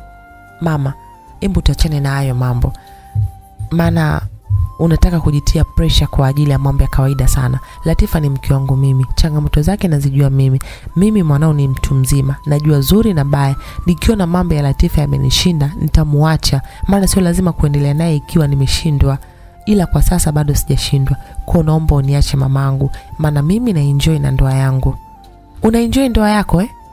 Ndiyo, na enjoy sana tu. Una enjoy wapi wakati mwanamke anakupelekesha kama gari bovu? Unafikiria taarifa zenu mimi sina? Ninazo zote. Huyu anayekwambia habari zangu mimi na mke wangu muulize, ana lengo gani kufuatilia ndoa yangu? Mama Razaki alikata simu bila kujibu swali la mwanaye alilomuuliza. Razaki baada ya kuongea na mama yake alikaa kwa mawazo kwa muda mrefu kidogo. Hapo alikuwa anafikiria nani anayempelekea taarifa mama yake kuhusu na mke wake. Alikosa jibu akiingia kwenye gari yake na kuanza safari ya kurudi kwake. Razaki aliacha kunywa pombe tangu siku hiyo ambayo alilala na Ashura bila kutaka. Aliona achane na pombe kwa sababu aliona atakuja kufanya mambo yasiyoeleweka na baadaye kujutia kutokana na pombe. Japo mama yake na mkewe bado alikuwa wanaendelea kumsumbua kutokana na mambo ya talaka, ila yeye alikuwa anakomana hivyo hivyo kutokuwa jibu chochote. Alifika nyumbani, Razaki akamkuta mkewe yupo nyumbani anapika mwenyewe. Razaki alijisikia raha sana kama kawaida yake, alimkuta mke wake nyumbani anapika, na hicho na kitu ambacho Razaki kinamfurahisha sana. Walisalimiana na mkewe, alafu akaingia chumbani kwake. Razak. bado alikuwa anatamani kumwambia mkewe anampenda sana, anampenda kiukweli na wala sio kimaigizo kama anavyojua Latifa mwenyewe, lakini tatizo lililokuwa mbele yake, alikuwa hana ujasiri wa kuongea. Akikutana na Latifa kila kitu kinamalizika, huu ujasiri anakuwa hana, hivyo anabaki kumtazama tu mke wake. Maisha yaliendelea hivyo. Siku moja Razaki akiwa katoka kupeleka abiria sehemu, simu yake iliita. Kuangalia mpigaji alikuwa nani, ile namba ikawa ningeni machoni mwake, ila akapokea na kusema halo. Alikuwa anasikilizia sauti kutoka upande wa pili. Halo Razak, habari yako? Safi, alijibu Razak ukubali ile sauti akiwa hajaelewa vizuri ni nani alikuwa anaongea vile. Ilikuwa ni sauti ya mdada na alikuwa anaonyesha anamjua vizuri sana Razak. Huyu dada naye alihisi Razak hajamjua kwa sababu alikuwa anamsikilizia jinsi anavyomjibu, ni kama mtu ambaye anasikilizia sauti vizuri. Yule dada alitabasamu na kumwambia Razak, Razak, najua utakuwa unajiuliza mimi ni nani. Ndiyo dadangu, najiuliza sana hapa wewe ni nani, maana namba imetoka bila jina. Ndiyo, ni kweli, lazima itokee bila jina kwa sababu hukuwai kuwa na namba yangu wala mimi kuwa na namba zako, ila kwa kuwa nina shida na wewe, ndio maana nikaamua kuchukua namba zako kwa mtu mmoja hivi. Tena nimechukua bila yeye mwenyewe kujua, hajajua kama nimechukua namba zako kwenye simu yake. Naomba niambie, we ni nani? aliuliza Razaki baada ya maelezo kuwa yamezidi upande wa pili. Mimi ni Zai. Zai? Ndiyo, Zai. Zai yupi? Mm, yani mimi unanifahamu umesema? Ndio nakufahamu, hata pia unanifahamu vizuri tu. Basi naomba niambiwe ni nani ili mimi nipate kukujua. Razak, mimi ni Zainabu ninayefanya kazi kwa mkeo Latifa. Ah, kumbe shemeji? Ndio Razak, ni mimi. Sawa sawa. Ah, niambie shemeji yangu. Safi tu, nilikuwa na shida na wewe, tukutane tuzungumze. Sijui itawezekana? Ndio itawezekana. Kwa nini siwezekane shemeji yangu? Basi kama itawezekana, naomba tuonane Jumapili mchana. Sawa shemeji yangu, ina shida, tutaonana tu. skwema hakuna tatizo lolote lile. Ndio Lazaki, wala usipate na wasiwasi wowote ule, ni mambo tu ya kawaida ambayo unahitaji kunana na wewe tuweze kuyajadili mimi na wewe. Sawa shemeji yangu, aina shida. Sawa, na naomba usimwambie Latifa kama tunahitaji kukutana, naomba iwe siri yetu, Latifa asijue chochote kile. Sawa shemeji, aina shida. Sawa Lazak, naomba nikuache uendelee na kazi zako. Sawa shemeji. Zai alikata simu na kuendelea na mambo yake. Razak naye akawa anaendelea na kazi zake, lakini alikuwa tayari kashapata mawazo ya kumwaza Zai. Siku ya Jumapili anataka kumwambia nini? Alijikuta anajiuliza maswali mwenyewe na kujijibu mwenyewe. Au naye ananitaka? Alitabasamu. Au kagundua kuhusu mahusiano yangu mimi na Ashura? Mm. Asia kaka kagundua mahusiano yetu na Ashura, itakuwaje ikiwa kagundua kuhusu ile? Lakini Ashura si nilimwambia ajitahidi iwe siri yetu, asijue mtu. Alibaki na mawazo sana akifikiria kuwa Zai huenda akawa kajua mahusiano yake na Ashura. Aliogopa sana kwa sababu alihisi kama Zai atakuwa kajua, basi hata Latifa naye huenda akajua vile vile. Na itakuwaje kama Latifa akijua? Si itakuwa balaa lingine hili. Si atapata sababu ya kuniacha vizuri? Hapana, siko tayari kumpoteza Latifa wangu. Bora niachane na Ashura kuliko kuachana na Latifa. Mawazo yaliendelea kumsakama sana bwana kaka huyo mpaka muda wa kwenda kuwafata Ashura na mkeo ulipofika akaenda kuwachukua na kuwarudisha nyumbani. Latifa alipofika nyumbani akaanza kujiandaa kwa ajili ya kutoka. Ashura naye kwa upande wake ilikuwa ni hivyo hivyo, alikuwa anajiandaa ili waende klabu na wenzake. Akiwa anamalizia kujiandaa, simu yake iliita kuangalia mpigaji, alikuwa ni Razak. Alipokea haraka haraka. Hello sweetheart. Ashura, vipi? Safi dali, niambie. Naomba tunani muda huo usiku pale kwenye ile hoteli tunayokutanaga mara kwa mara. Sawa my love. Razak alikata simu na kumwacha Ashura akiwa kachoka, maana alikuwa na safari ya kwenda club, lakini Razak anataka waonane leo, na kwa kuwa Ashura anampenda sana Razak hakuweza kumkatalia, hivyo akaamua kugaili safari ya club na kuondoka kuelekea sehemu waliokuwa wanakutana pamoja na Razak mara kwa mara. Zaina Latifu walikuwa tayari wapo kwenye gari wanaelekea nyumbani kwa Ashura ili wakamchukua Ashura waondoke zao, ila mara simu ya Latifa ikaita kuangalia mpigaji alikuwa Ashura. Ashura huyo ananipigia, sijui tumechelewa sana kumfata, huenda nahisi tumegaili, alisema Zaina Latifa alipokea ile simu. Alo Ashura, vipi? Safi ti, nilikuwa nakwambia mimi nimepata dharura, nimetoka mara moja, siko hapo nyumbani, kwa hiyo ina haja kunipitia. Eh eh, kumbe basi wenzetu tulikuwa njiani tunakuja hivyo? Hapana, msije, maana mimi nimeshatoka. Basi sawa, ngoja nimwambie Zai. Sawa. Ashura alikata simu. Zai, Ashura mwenyewe hayupo, ametoka. Eh eh, ametoka tena? Ndiyo, ametoka, kasema kapata dharura kidogo. Sawa, ngoja tuondoke sisi tu. Sawa. Latifa na Zai waliondoka zao wao kama wao. Muda huo ulikuwa ushafika saa mbili usiku. Ashura alifika kwenye hoteli ambayo anakutanaga na Razak, akaenda kulipia chumba. Akakabidhiwa funguo, akaenda kufungua mlango wa chumba alichopewa. Aliingia ndani. Alipofika alijilaza kitandani na kumpiga simu Razak. Razak alipokea chapu. Elewa Shura, vipi? Safi tu, nishafika na nishachukua chumba na kusubiri wewe. Sawa. Vipi Latifa kaenda club? Ndiyo, kaenda na Zai. Okay, nafika hapo sasa hivi. Aya, nakusubiri. Ashura alikata simu. Aliinuka pale kitandani na kuanza kuvua nguo zake. Alivua nguo zote. Baada ya hapo akaenda kwenye mkoba wake akatoa kipande cha kanga. Alijifunga kifuani. Baada ya hapo alienda kitandani akajilaza huku akiwa anachezea simu yake. Baada ya Razak kufunga mlango vizuri, alienda pale kitandani alipokuwa Ashura, akaenda kukaa pembeni yake. Ashura naye alitoa ile kanga aliyokuwa amejifunga mwilini mwake na kubaki mtupu kama alivyozaliwa. Alienda kumkumbatia Razak. Ashura, kwa akili yako unayo, yani unavyojua, tukikutana tunafanya mapenzi tu. Ndiyo mpenzi, kwa sababu tukikutana tunakutana mara chache chache sana, hivyo tukikutana lazima tuwekane sawa. Sawa, ila leo mimi sijakuita hapa kwa ajili ya kufanya mapenzi, ila kuna jambo nimekuita hapa. Jambo gani hilo? Nina wasiwasi sana wenzako watajua kwamba tuna mahusiano yetu mimi na wewe. Nina wasiwasi sana. Ashura kabla hajajibu swali lile, kwanza alicheka kidogo, alafu ndo akajibu, hakuna rafiki yangu hata mmoja ambaye anajua mahusiano yangu mimi na wewe. Kweli? Ndiyo Razak, hakuna hata mmoja anayejua kuhusu mahusiano yetu. Sawa. Kwani vipi, unahisi kutakuwa tayari tumeshtukiwa? Ndio, nahisi hivyo. Kwa nini? Kwani Latifa kuna chochote amekwambia? Hapana, hakuna alichokisema. Sa kama hakuna alichokwambia, umejuaje kama kashtukia? Razak hakujibu lili swali, alinyamaza kwa muda kwa akifikiria na kujiuliza kwamba amwambie kuhusu zae alivyosema au asimwambie. Alipata jibu asimwambie, kwani Atazai mwenyewe alimwambia iwe siri yao wawili tu kuhusu kukutana kwao.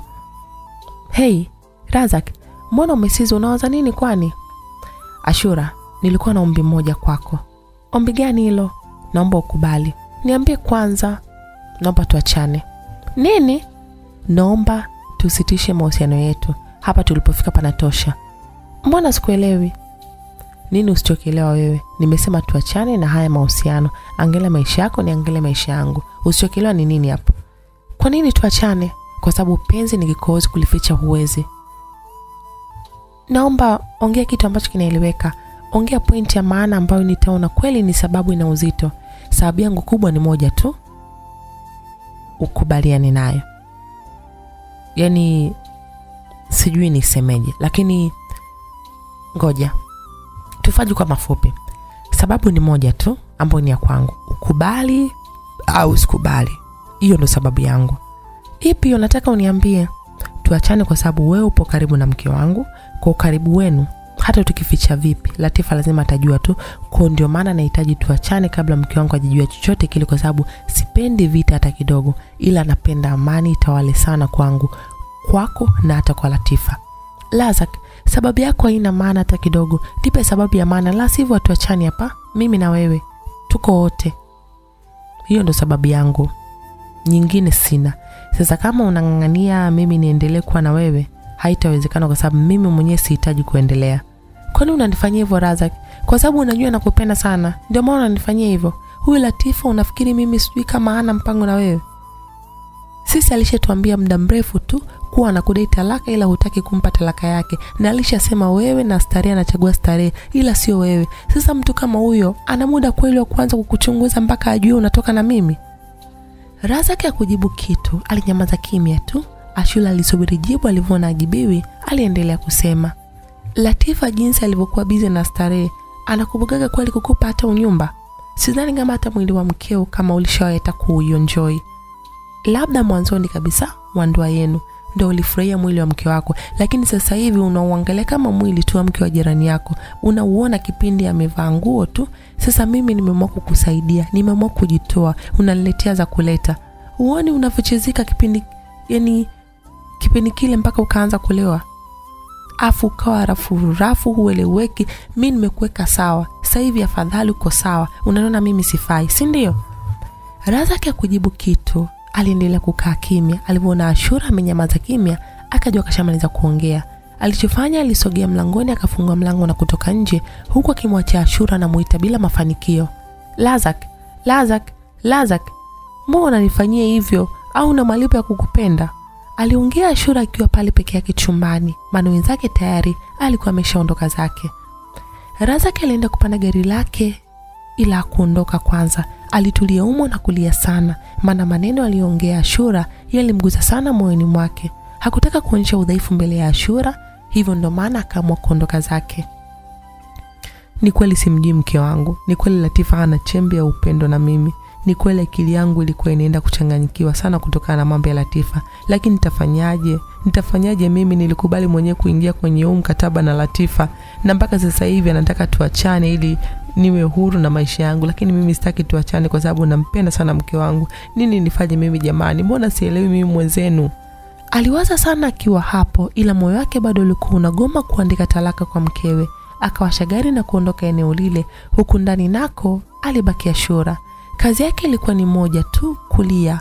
Ashura alilia mpaka alichoka. Moyo wake ulikuwa unamuuma sana, kwa sababu alikuwa anampenda sana Razak, ila Razak hakuwa na chembe ya upendo kwake. Alijikuta anapitia maumivu sana kwa ajili ya kumpenda mtu asiyempenda. Alivyomaliza kulia, akavaa nguo zake na kutoka nje, akafunga mlango na kurudisha funguo mapokezi, naye akaondoka zake kurudi nyumbani kwake.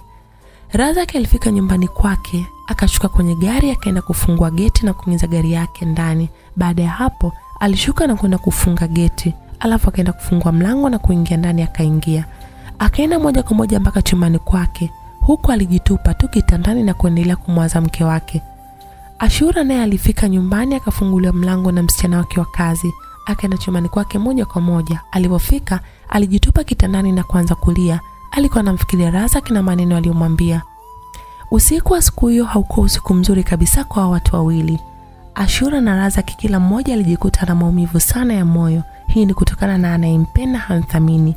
Razak alikosa usingizi kabisa.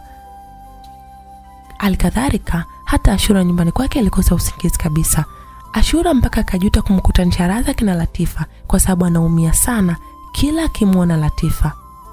Mtu anayempenda na anampenda Latifa, tena anampenda mpaka ajielewi kabisa, hasikii wala yaoni mabaya yote anayomfanyia Latifa. Yeye anaona kama asali, alafu mbaya zaidi, Latifa hamthamini na athamini upendo huyu mwenzake hata kidogo.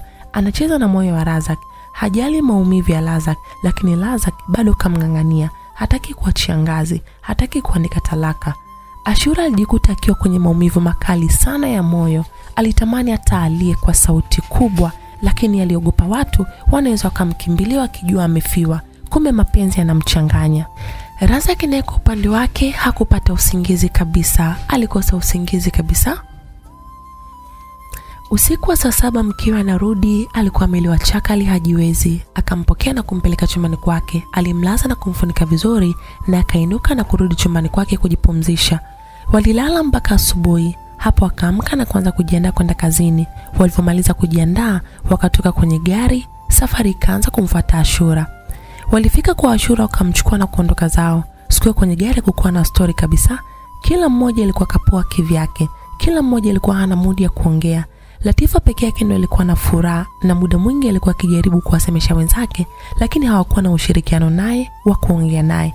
mpaka wanafika ofisini kwao wakashuka na kuingia ndani.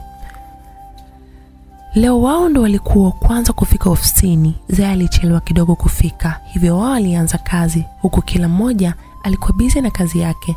Latifa alikuwa kashamwona Ashura hayuko sawa, hivyo akaona bora amuulize kinachomsibu asije akafanya kazi huku akawa anaumwa labda. Ashura, mami, vipi, mbona kama uko poa leo? Unajisikiaje kwani? Sipo poa sana leo. Pole sana mami.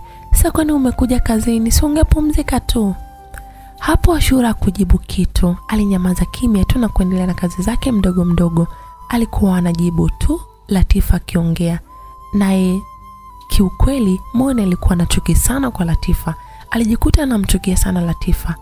Baada ya muda kidogo, Zaya alifika pale, wakasalimiana na kuendelea na kazi zao, lakini wakiwa wanapiga stori, Zaya naye akamuhisi Ashura leo hayuko poa, ikabidi naye amuulize, Ashura, uko poa leo kweli? Hapana, siko poa sana. Unajisikiaje kwani?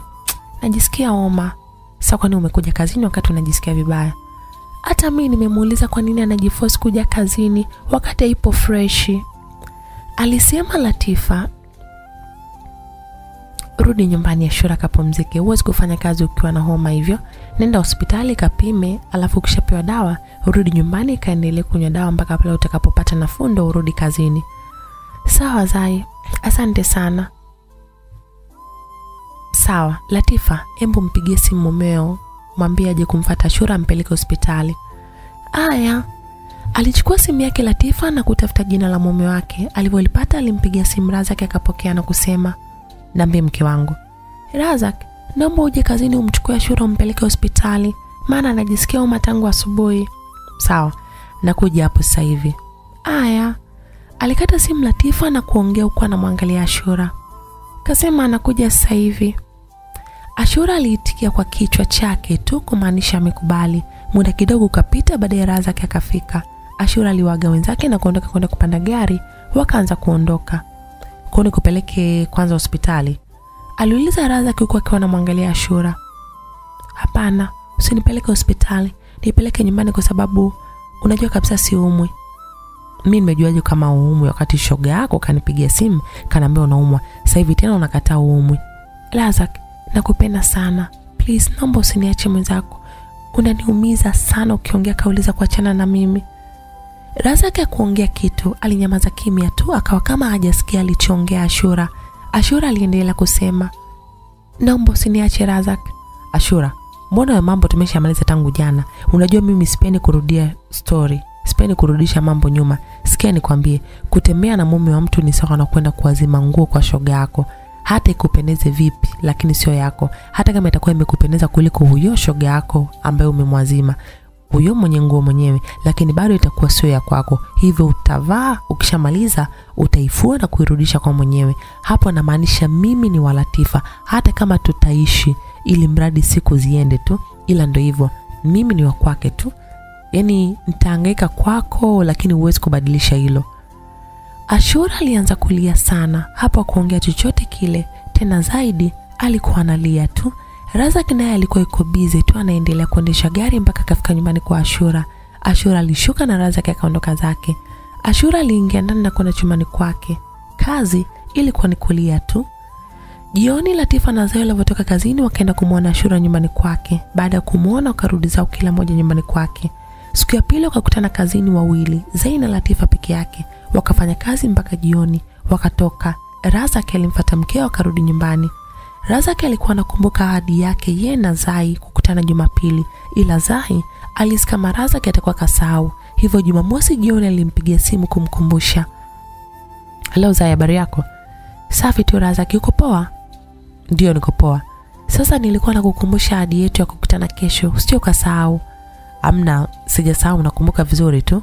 Sawa, vizuri kama unakumbuka. Basi tutakutana kesho. Sawa Zai. zai alikata simu, ikabidi Razak atafute uongo kwenda kumdanganya mkewe ili apate nafasi ya kwenda kuonana na Zai, maana Latifa anajua ratiba ya mumeo siku ya Jumapili huaga afanyi kazi, anapumzika tu kwake. Alipofika nyumbani siku hiyo, akamwambia mkewe kuwa akapata safari ya zarula hivyo kesho atatoka asubuhi. Latifa naye alivyokuwa hana neno akakubali.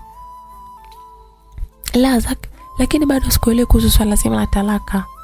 Mke wangu, siko poa, naomba niache nipumzike. Ah, ah. Kwa hiyo huo ndo mtindo wako eh, siku hizi? Nikikwambia kuhusu mambo ya talaka unasema hauko poa.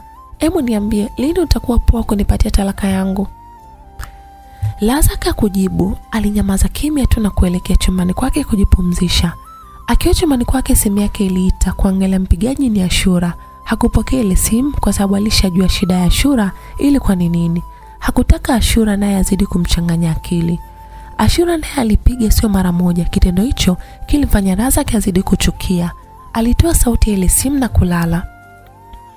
Siku ya pili Razak aliamka sio asubuhi sana. Alijiandaa kwa ajili ya kutoka kwenda kukutana na Zai. Walipanga kutani asubuhi ili wazungumze maongezi yao na wakimaliza kila mmoja aondoke mapema tu. Alivyomaliza kujiandaa akamwaga mke wake na kuondoka zake. Akiwa njiani alimpigia simu Zai akamweleza kwa yeye ndio yuko njiani anaelekea hapo walipoelewana wakutane. Zai naye akamwambia naye yupo njiani pia anaelekea huko. Baada ya muda kidogo Razak alifika. Alimkuta Zai naye amefika muda sio mrefu sana.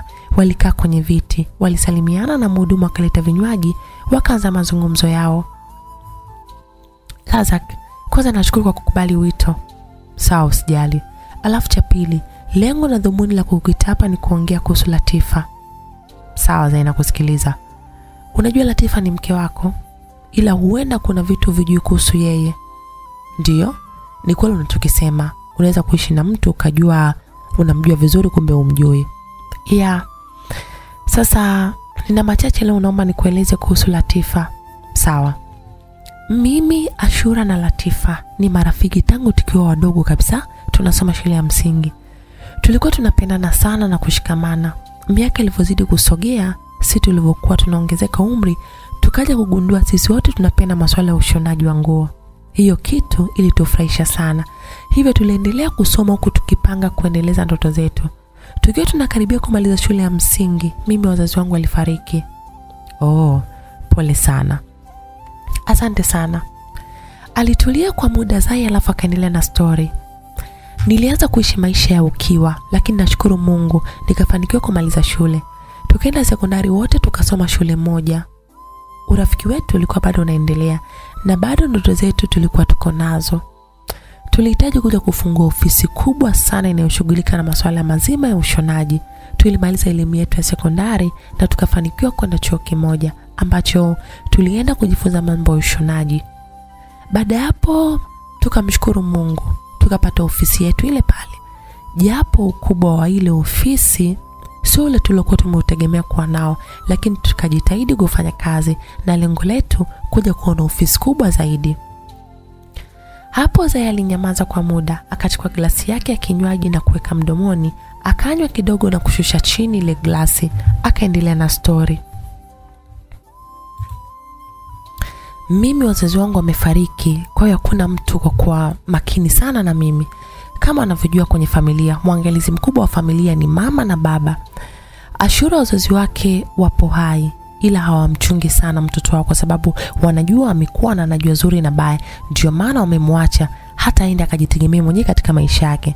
Sasa shida ilikuwa ni kwa wazazi wa Latifa, wao ndio walikuwa hawataki kukubali kwamba mtoto wao amekuwa wala walikuwa hawataki kuamini kama anajua baya na zuri. Wao walikuwa wanajua wakimwacha mtoto afanye maisha yake mwenyewe lazima ataharibikiwa tu. Kwa hiyo Latifa alijikuta anakosa uhuru kama tunaopata sisi wenzake. Razaki alikaa vizuri ili amsikilize Zai, huku Zai akinywa kinywaji chake kwanza kwa kujipa mapumziko ya kuongea. Jambo la Latifa kubanwa lilikuwa linamuumiza sana na lilikuwa linamwathiri kisaikolojia bila wazazi wake kujua. Alijaribu mara kadhaa kuongea na wazazi wake wamwache aishi kivyake, lakini wazazi wake hawakuwa wanamsikiliza hata kidogo. Uo ulivyomoa Latifa umekuwa kama umemsaidia kutoka kwenye mikono ya wazazi wake. Sasa alivyoenda kwenye starehe siku mbili tatu, akajisahau naye akaona starehe ni bora kuliko mume, ndio maana nakudai talaka. Lazake aliitikia kwa kichwa kumaanisha ipo pamoja na Zai. Zai naye akamwangalia alafu akaendelea. Latifa anataka kuachana na wewe ili awibise na starehe zake bila kujua kuwa mwanamke ukiolewa basi umestirika, umeheshimishwa kuliko kuwa mwanamke wa viwanja. Hajui kama unadharauliwa na pia unachukuliwa poa tu. unajua shemeji si tunaenda club lakini sio kama tunaenda kujiuza hapana ila tunaenda kutumia pesa zetu kwa sababu tunapenda starehe lakini jamii haiwezi kutuchukulia sisi tunapenda starehe ila natuchukulia sisi ni wauni ni kweli mimi na rafiki zangu wote wale wawili sisi sio malaya ila tunapenda starehe na tunatumia pesa zetu. Tunavyoenda klabu tunafata starehe na sio kitu kingine. Lazake aliitikia kwa kichwa kumaanisha kaelewa wanachozungumza zai. Zai akaendelea kusema lazak lengo na dhumuni la kukuita hapa na kukueleza yote haya ni kwamba usimwache mkeo. Latifa yule ni limbukeni wa starehe kwa sababu hakuwahi kufanya starehe hivyo sasa hivi anavyofanya starehe anaona starehe ni tamu kuliko kitu chochote kile. Kweli kabisa shem unachosema. Latifa starehe anaona bora zaidi kuliko kitu chochote kile. Ndiyo hata mimi namuona kabisa anaona starehe ni bora. Hajui kama starehe zina mwisho. Ila ukipata mume mwema utadumu naye katika maisha yako yote hapa duniani. Ndiyo ndiyo. Sasa sisi tukiwa kazini mara nyingi sana tunakuwa tunamsii aache kudai talaka. Sawa sawa. Na ninachoomba shemeji yangu na wewe usipate asira jinsi anavyokudai talaka na wewe ukampa kweli. Kwa sababu latifa utoto unamsumbua alafu akili yake ni fupi. Inaangalia leo tu aiangalii kesho itakuwaje. Ni kweli shemeji.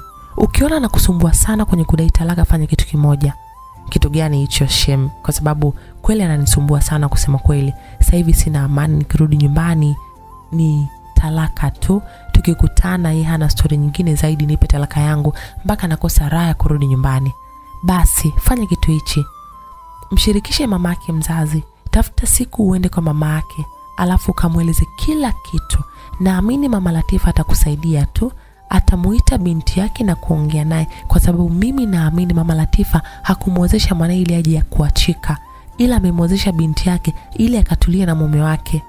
Ndiyo kweli kabisa unachosema zai shemeji yangu.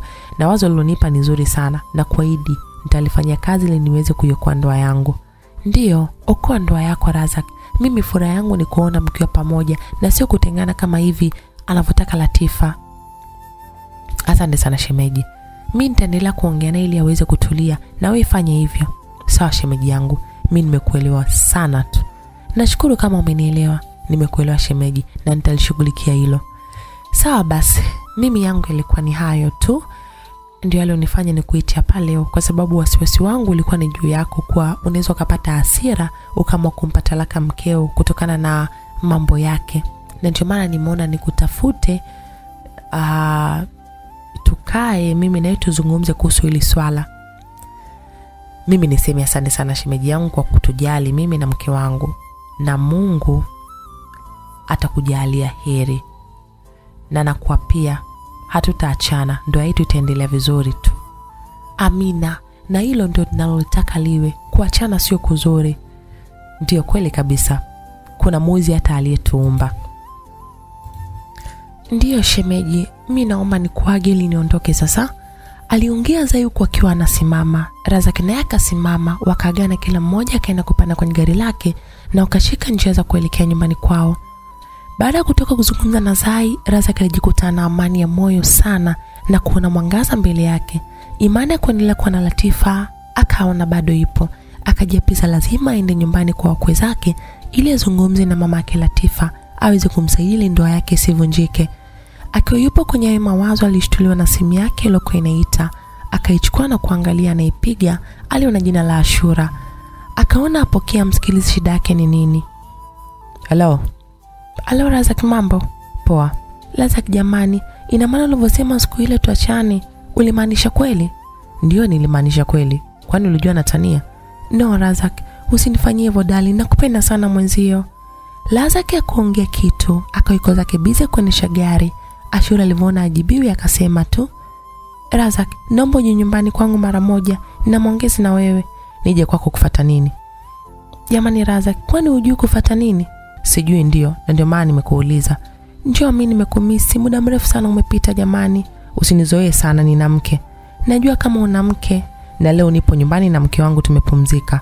Alikata simu razak ashura kuelewa, akaanza kupiga tena simu. Razak akaiangalia na kupokea, akapiga kwa fujo. Alikata akapiga. Alikata akapiga tena lakini razak hakuwa anapokea. Baadaye alituma message kwa razak alikuwa anasema hivi. Razak nitamweleza mkeo kila kitu kuhusu wewe na mimi mahusiano yetu.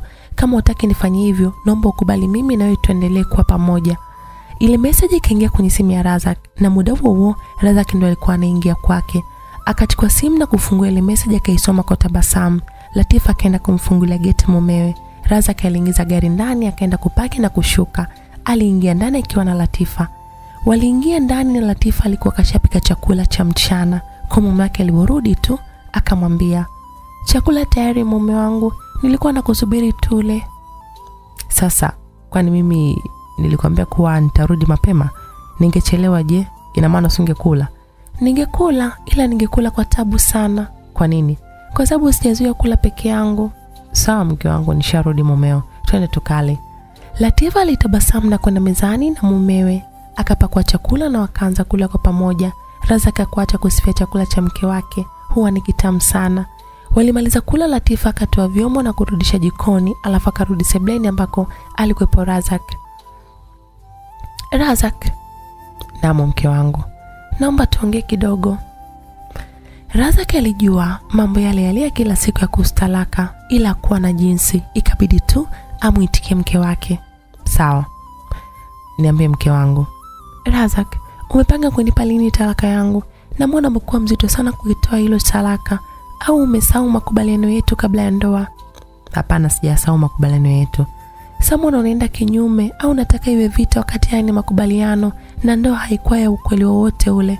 Nitakupatia talaka yako latifa. Usiwe na haraka. Hivi unapata nini labda ukiendelea kuning'ang'ania? Maana mimi kwa upande wangu sioni faida ninayokupa zaidi ya kukupa maumivu tu ya kugombana na mamako tu. Na ndio maana nakwambia nipe talaka yangu nikuondokee kwenye maisha yako.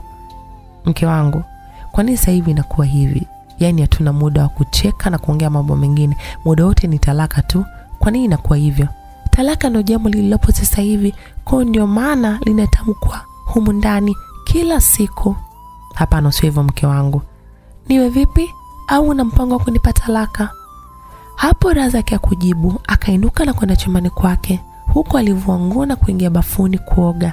Akiwa bafuni mawazo yalimsonga sana. Alijikuta anaongea peke yake. Latifa sipo tayari kukupoteza mama. We ni mke wangu peke yangu. Kuna sababu nyingi sana za wewe na mimi kuendelea kwa pamoja. Kesho mungu akipenda nitaenda kwa mama yako kumweleza kila kitu kuhusu wewe. Huku sebleni nako latifa alibaki na maswali kichwani kwake. Akawa anaumiza kichwa chake kweli kweli kupata majibu ya maswali anayojiuliza. Mungu wangu huwe raza kasija akasema hataki kuniacha. Mwana simwelewi majibu yake? Na kwa nini kila nikimwambia kuhusu swala talaka anakasirika sana na lazima ainuke na kuondoka. Alibaki na maswali mengi kichwani mwake. Na itakuwaje endapo akikataa kuniacha? Wewe sio kweli. Lazima aniache mimi. Nilitaka tu anisaidie na wala sikuwa na shida na mume. Muda huo akiwa anawaza kumbe razaki alikuwa kashatoka kuoga akawa amesogea karibu na sebure alikuwa anamchungulia mkewe. Akamwona kama mtu mwenye mawazo sana naye razaki alianza kujiuliza mbona kama na mawazo sana.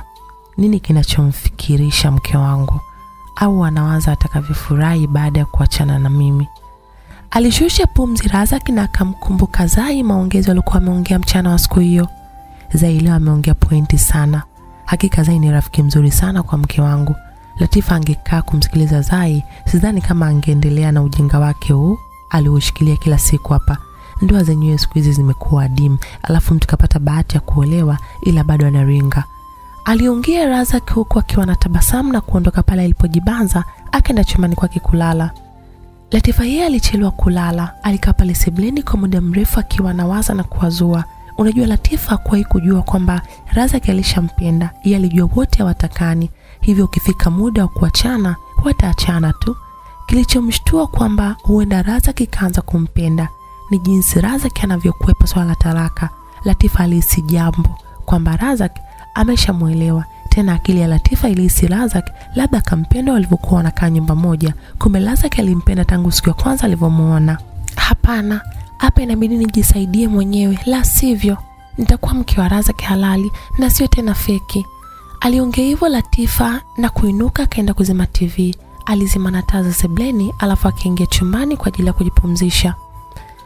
Asubuhi ya siku iliyofuata ilifika, wakaamka na kujiandaa kwa ajili ya kwenda kwenye majukumu yao.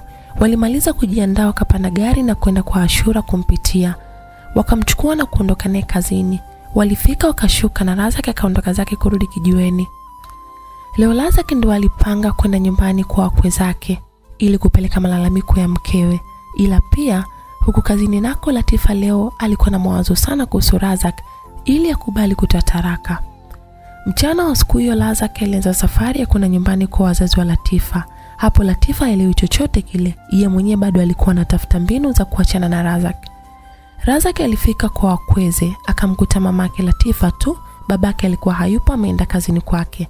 Mama Latifa akamkaribisha mkwewe kwa bashasha sana. Karibu sana mwanangu. Asante sana mama. Walikuwa wamekaa sebleni, mama Latifa akainuka kwa ajili ya kwenda kuchukua juisi kwenye friji. Akaenda kuchukua jagi akammiminia juisi. Juisi ilikuwa kwenye kidumu na baada ya hapo akairudisha kwenye friji. Akachukua ile kwenye glasi akaenda nayo sebleni. Akamwekea mkwewe pamoja na yeye mwenyewe, alafu akamwambia mkwewe, karibu kinywaji kijana wangu. Asante sana mama. Walianza kunywa huku wanaangalia TV. Hapo Razak alikuwa anajipanga anzie wapi kwenye kutoa malalamiko yake. Mama, abe kijana wangu, mi nimekuja mama, ila ujui wangu kuna jambo limenileta kumuhusu mwenzangu. Sawa sawa, karibu mwanangu, niambie kafanyaje mwenzako? Mimi na mwenzangu sasa hivi tupo kwenye migogoro mikubwa. Kwa nini tena mwanangu? Shida nini mpaka inakuwa hivyo? Shida mwenzangu anadai talaka yake. Anadai talaka? Ndiyo, anadai talaka. Kwa sababu ya nini sasa mpaka anadai talaka? Kwa sababu uh, yani hana ya kudai talaka, ila anataka tu talaka yake. Mama Latifa akashangaa na kuhisi huenda mwanaye kapagawa, anadai talaka bila sababu. Akaona amuulize mkwewe, kijana wangu, naomba niambie ukweli, shida nini mpaka mwenzako anadai talaka? Kwanza ile tabia yake ya ulevi ameacha, bado anaendelea? Hapo Razak alikaa kimya kwanza, akawa anashindwa ajibu nini, kama kaacha au bado anaendelea. Kwa ukimya ule, mama Latifa akakarili kitu, akajua mwanaye ajiacha pombe. Mama, mi sielewi shida ya mwenzangu, labda ukimuita na ukimuuliza tatizo nini mpaka anadai talaka, labda kwako huenda akasema huyu binti ana matatizo sana sana, dai talaka ya nini wakati ndoa akaitaka mwenyewe. laza kijana wangu, mi nimekuelewa, nitamuita ili nizungumze naye, alafu nitakujulisha mwanangu anachongea mwenzako. Sawa mama. Razak akawa anataka ainuke age ili aondoke, lakini muda huo huo binti wa kazi alikuwa ndo anatenga maakuli mezani. Mwanangu, chakula tayari, hivyo sio vizuri kuondoka bila kula. Naomba tusogee mezani tupate chakula kwa pamoja. Sawa mama.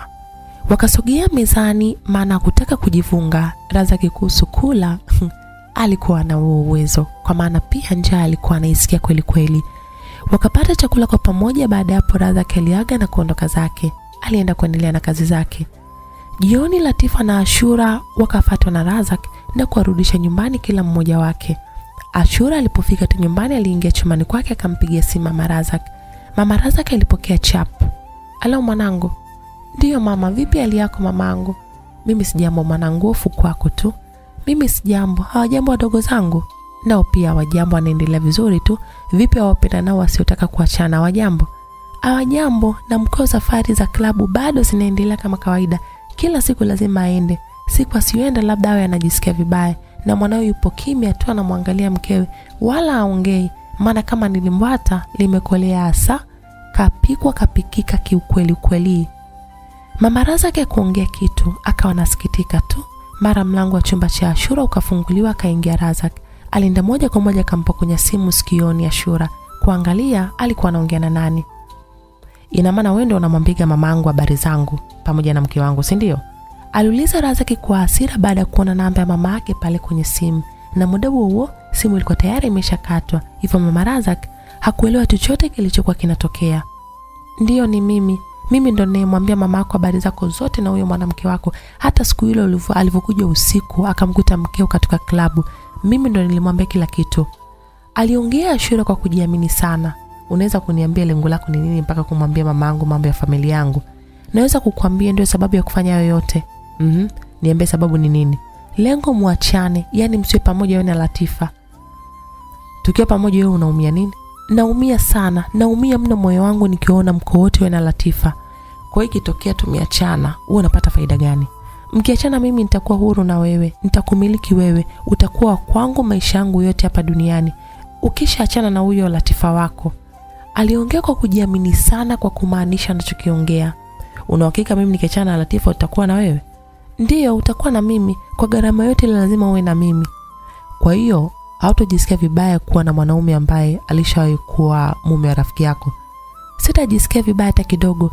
Tena akichelewa kujua kama nipo na wewe nitafanya juu chini ili ajue mimi nipo na wewe. Mimi ndo mama mjengo kwa sasa lazaki alimwangalia kwa muda ashura alafu akatabasamu kidogo na kumwambia ngoja tuone itakavyokuwa.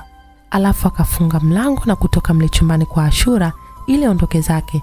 Alienda kwenye gari yake razaki akapanda na kuondoka zake. Akiwa njiani anaendesha gari yake taratibu. Alikuwa anamfikiria sana ashura kwa majibu aliokuwa namjibu akawa anajiuliza mbona ashura ana majibu ya kujiamini sana? Kuna nini ambacho anakijua kuhusu mimi na latifa? Au latifa ameshawambia marafiki zake kuhusu mahusiano yetu mimi na yeye lakini kama kawaambia kwa nini zai aliniita na kunisini siachane na mke wangu? Ina maana alikuwa ananichora au? Mawazo yakamtawala sana razak. Alijiuliza kama latifa akawaambia mabesti zake kuhusu mahusiano yao. Akaona kama vipi amuulize mkewe kuhusu hilo. Latifa naye akiwa zake nyumbani akasikia simu yake inaita. Akaenda kuchukua na kuangalia nani anayempigia. Alikuwa na mama yake mzazi. Mama latifa ndio alikuwa anampigia simu. Latifa alipokea simu na kuanza kuongea alo my love mama. Binti yangu vipi hali yako?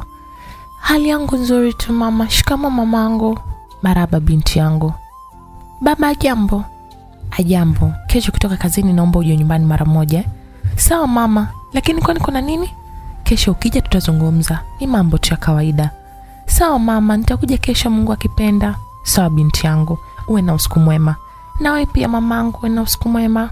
Asante sana alikata simu mama latifa. Latifa alijiuliza baada ya mamake kukata simu kuna nini uko mpaka mamake anamuita? Ila akaona asiumize kichwa chake. Kesho ataenda na kujua kuna shida gani mpaka mamake anamuita. Razaki alifika kwake akapiga honi na mkewe akaenda kufungua geti. Razaki aliingia ndani na kwenda kupaki gari yake kwenye paki na alafu akashuka kwenye gari. Vipi mke wangu?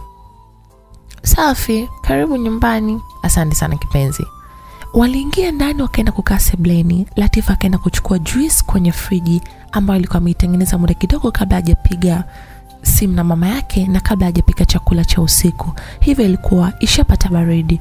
Walianza kunywa juisi razak akawa anajiuliza moyoni mwake amwulize mkewe kuhusu siri yao kama ameisema kwa marafiki zake au asiulize.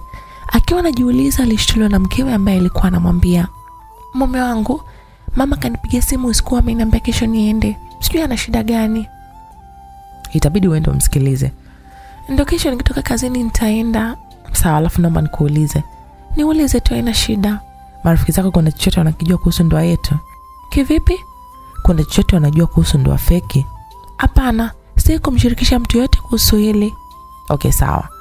Vipi kwani? Unahisi niliwahi kumwambia chochote mtu yoyote ndiyo maana wewe na wenzako mna ukaribu sana. Sasa sijui kuwa umemwambia kuhusu hili. Hapana hata kama tuna ukaribu kiasi gani lakini siwezi kumwambia mambo kama haya. Sawa ni hilo tu. Twende tukale. Alisema latifu huku akiwa anainuka kuelekea mezani. Razaki naye akamfata wakaenda mezani. Walipata chakula kwa pamoja. Baada ya hapo alielekea kupiga stori mbili tatu alafu aliagana na kila mmoja akaenda sehemu yake anayolala asubuhi ilifika walijiandaa na kutoka kuelekea kazini wakampitia ashura na kuondoka naye. Walifika razaki aliyoacha hapo yeye aliondoka zake. Jioni ya siku hiyo baada ya kumaliza kazi latifa akaenda nyumbani kwao. Hivyo kupanda gari ya mumewe alienda na usafiri mwingine huku akimwachia ashura akiondoka zake pamoja na razak. Alifika kwao latifa alipokelewa na mamake vizuri sana kwa furaha zote mpaka latifa akahisi huenda mamake alikuwa amemisi tu ndio maana akamwambia aende latifa mwanangu. Karibu sana. Asante sana mama. Mama yake alimuita chumbani kwa latifa alipokuwa analala kabla ya kuolewa. Chumba chake kilikuwa kiko vile vile. Kila kitu kilikuwepo. Alivyoolewa aliondoka na nguo zake tu lakini vitu vingine vyote aliviacha kwa sababu huku alipokuwa anaenda kuliko kuna kila kitu. Hivyo aliamua kuacha ili hata siku akienda nyumbani kwao aendelee kutumia chumba chake. Mama, kuna nini huko chumbani kwangu? aliuliza Latifa huku anamfata mama yake huko chumbani kwake. Vipi mama? aliuliza Latifa akiwa tayari kashafika chumbani kwake, akakaa pembeni ya mama yake alipokuwa amekaa.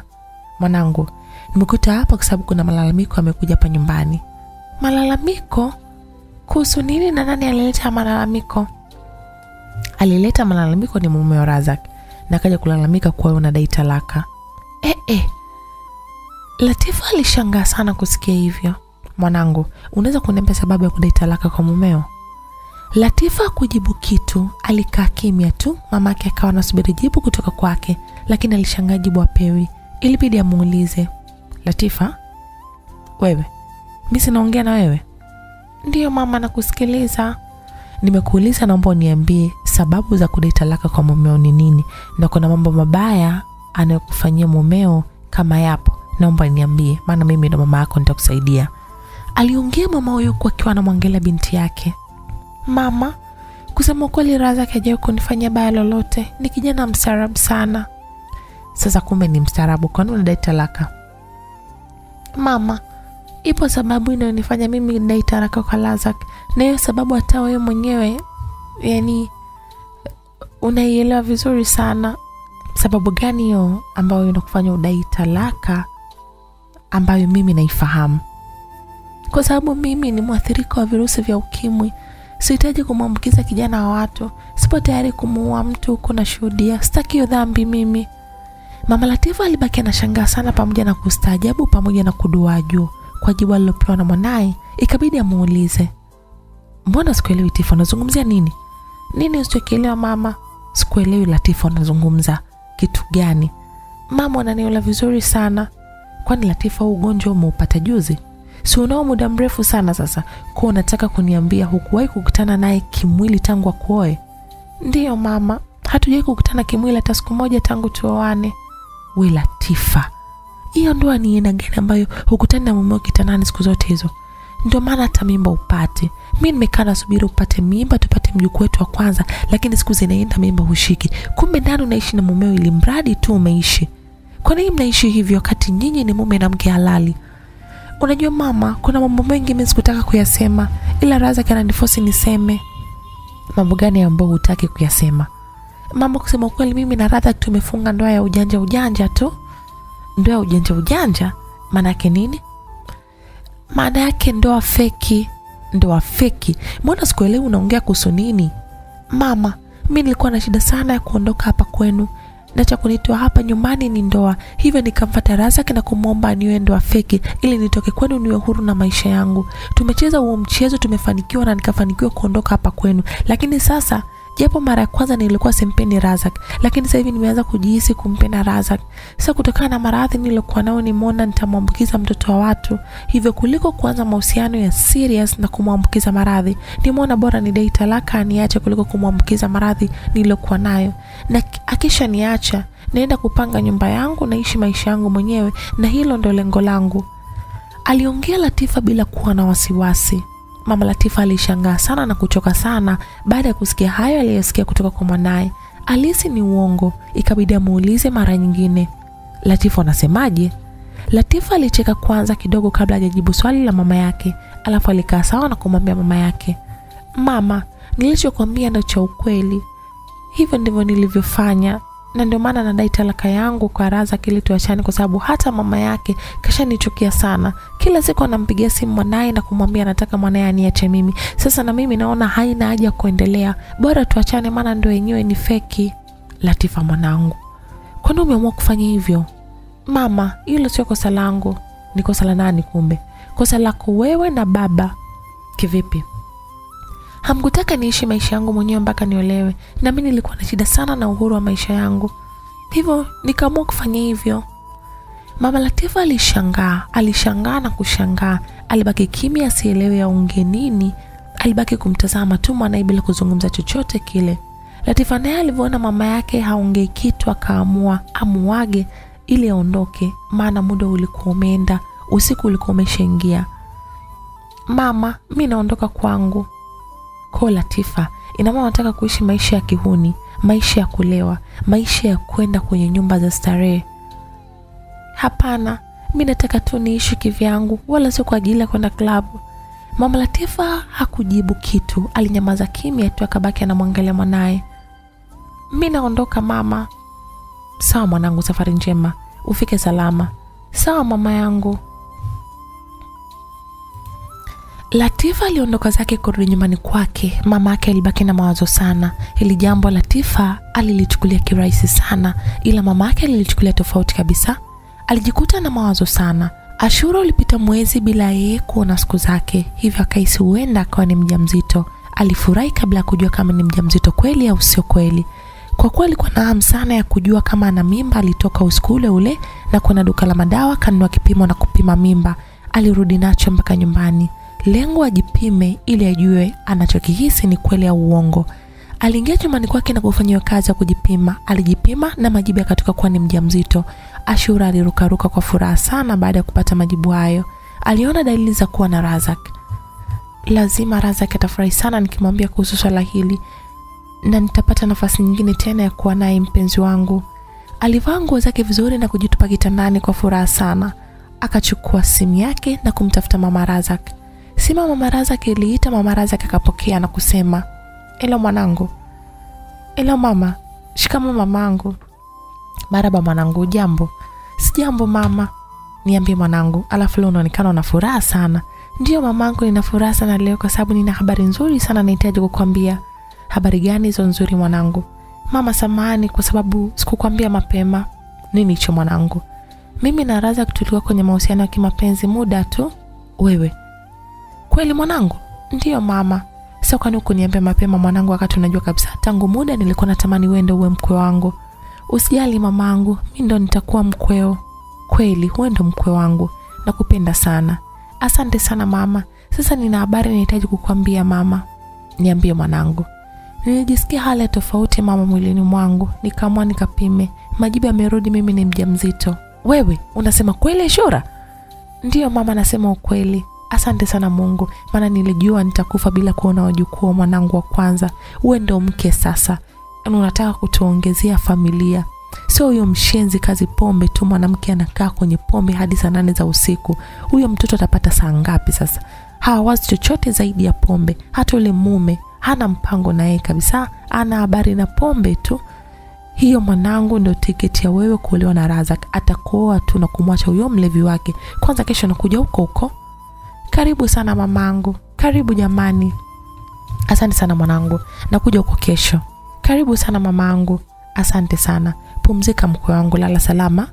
Asante sana mama, nawe pia upumzike salama. Nashukuru binti yangu.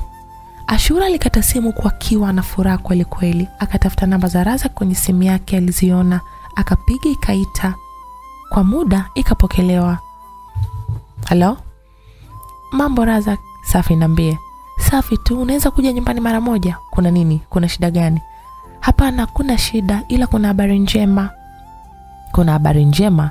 Niambie mumu kwenye simu, maana mi siwezi kuja kwako kwa muda huu. Nina mimba yako. Nini? Nina mimba yako Razak.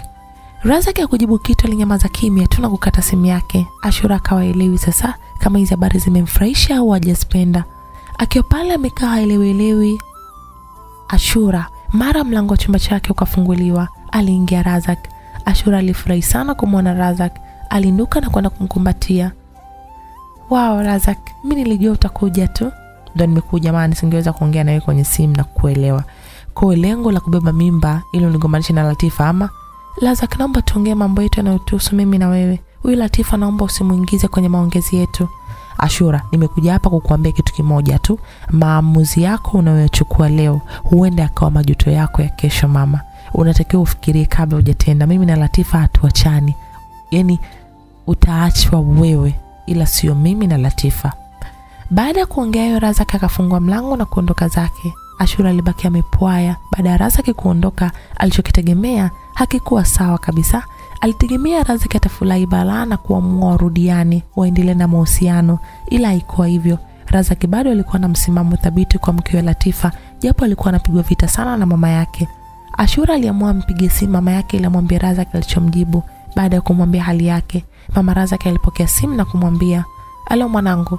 Mama, niambie mkwe wangu. Mama, nimemwambia Razak kuhusu hali yangu. Majibu alionijibu sijaelewa. Anaonekana hajafurahishwa kabisa na hili lililotokea. Hajafurahishwa? Kwa hiyo anafurahishwa na huyo mgomba wake? Sijui mama, namwona mwenzangu kachukia kama nimefanya kosa vile, au mimi nimefanya kosa hii mimba kuingia.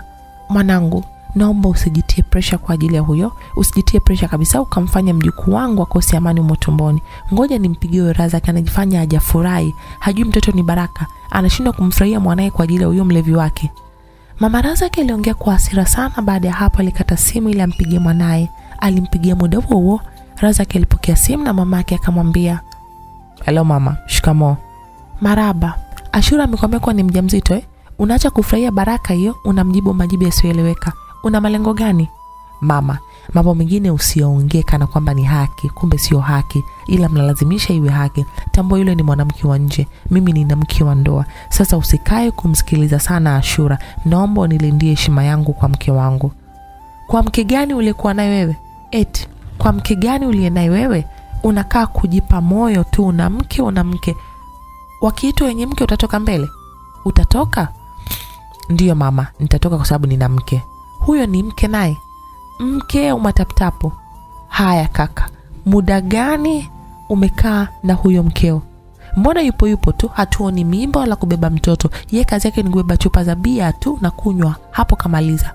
Nikwambie kitu, huyo mwanamke utamuacha, maana hana maana kabisa huyo, na utamuoa shura mwenye damu yako tumboni kwake, na ukiendelea kuwa mbishi ndawashirikisha wajomba zako na baba zako kwenye hili, maana naona hatuelewani. Maana sijawaambia bado chochote kuhusu mambo yako. Mi nilitaka haya mambo yaishe kimya kimya, nisiwaambie wakubwa zako kuhusu tabia za huyo mkeo, ila wewe unataka haya mambo yafike mbali, kila mtu ajue madudu ya mkeo. Sasa subiri, labda umwache, lakini ukiendelea kumng'ang'ania, na waambie kuwa mwanamke waliokuja kumwangaikia kipindi kile ni jipu, tena ni jipu uchungu. Sawa mama, nitamwacha, ila kwa sasa bado ni mke wangu, anatakiwa apate heshima yake kama mke. Mama Razak akuongea kitu kingine, alikata simu na kumpiga tena Ashura. Ashura alipokea simu ya mama Razak. Alo mama. Ashura mwanangu, nakupenda sana, usijali, mimi nipo bega kwa bega na wewe. Razak ni mwanangu mimi, najua nitampatia wapi ili aweze kumwacha huyo mlevi wake na kukua wewe. We tulia tu, Razak nimemzaa mimi, hawezi kunishinda akili hata siku moja. Wewe ndo mkwe wangu, itabaki hivyo. Asante mamangu kwa, upa, kwa upande wangu siku zote. Mi nipo upande wako mwanangu. Huyo mwanamke wake simtaki hata kumwona, natamani waachane leo kesho, ila wataachana tu, kama sio kwa amani, basi wataachana kwa vita. Sawa mama, nashukuru kwa kuwa na mimi kwa muda wote, kwenye raha na shida pia. Siwezi kukuacha mwanangu, mi nitakuwa na wewe muda wote wa raha na matatizo. Asante sana. Asante pia mamangu. Sawa mwanangu, naomba uwe na usiku mwema. Na wewe pia mamangu. Sawa binti yangu, asante. Alikata simu mama Razak. Hapo Ashura alianza kukaruka kwa furaha sana. Alihisi ushindi upo karibu na yeye. Alikuwa akijisikia raha sana. Asubuhi ya siku iliyofuata walikutana kazini, marafiki watatu akawa wanaendelea na kazi zao za kila siku. Ashura alikuwa na furaha sana siku hiyo, akaamua kuwashirikisha wenzake kuhusu furaha yake. Mabesti, niwaambie kitu. Tuambie. Ashura kabla hajaongea kitu alianza kulishikashika tumbo lake. Wenzake wakawa hawamwelewi, maana wanasubiri kuambiwa alafu haongei. Ilibidi Latifa amuulize, vipi, mwana usemi sasa, kuna nini? Nina mimba mwenzenu. Wow, wenzake walifurahi sana. Jamani, tunataka kupata kitoto chetu, aliongea Latifa kwa furaha. Ndiyo, tunapata kitoto three dadas, alijibu Ashura. Sasa kuanzia sasa hivi itabidi tumpunguzie muda wa kukaa kazini mama Kijacho, aliongea Zai, haswa ili ukipumzika na kijacho chetu apumzike, alijibu Latifa. Waliendelea kufurahi pale kwa pamoja mpaka muda wa chai ulipofika. Walitoka na kwenda kunywa chai. Walivyomaliza wakarudi kuendelea na kazi zao mpaka jioni, wakafunga ofisi ili waondoke zao nyumbani. Razaki akaenda kwa ajili ya kuwafata Ashura na mke wake Latifa, na wakiwa kwenye gari, Razak alianza stori. Pole kwa kazi mke wangu. Asante sana mume wangu, nimechoka sana leo. Pole, tuna nyumbani ukapumzike. Leo nitapika mimi. Wewe kweli? ndio napika, kwani unajua mimi sijui kupika? ndio najua hujui kupika najua kupika ila nilikuwa sijaamua tu kupika ila leo nataka nikakupikia chakula kitamu sana wow okay nasubiri kula chakula chako leo sawa ngoja tufike nyumbani nikakupikie vitu. Latifa alianza kucheka. Razak akamwangalia shura kwa jicho la pembeni. Akamwona kanuna balaa. Razak alicheka kidogo maana aliongea maongezi yali kusudi tu ili ashura roho muume na ilimuuma kweli maana alinuna kwa hasira. Alitamani ashuke njiani maana walikuwa wanamkera tu kwa maongezi yao.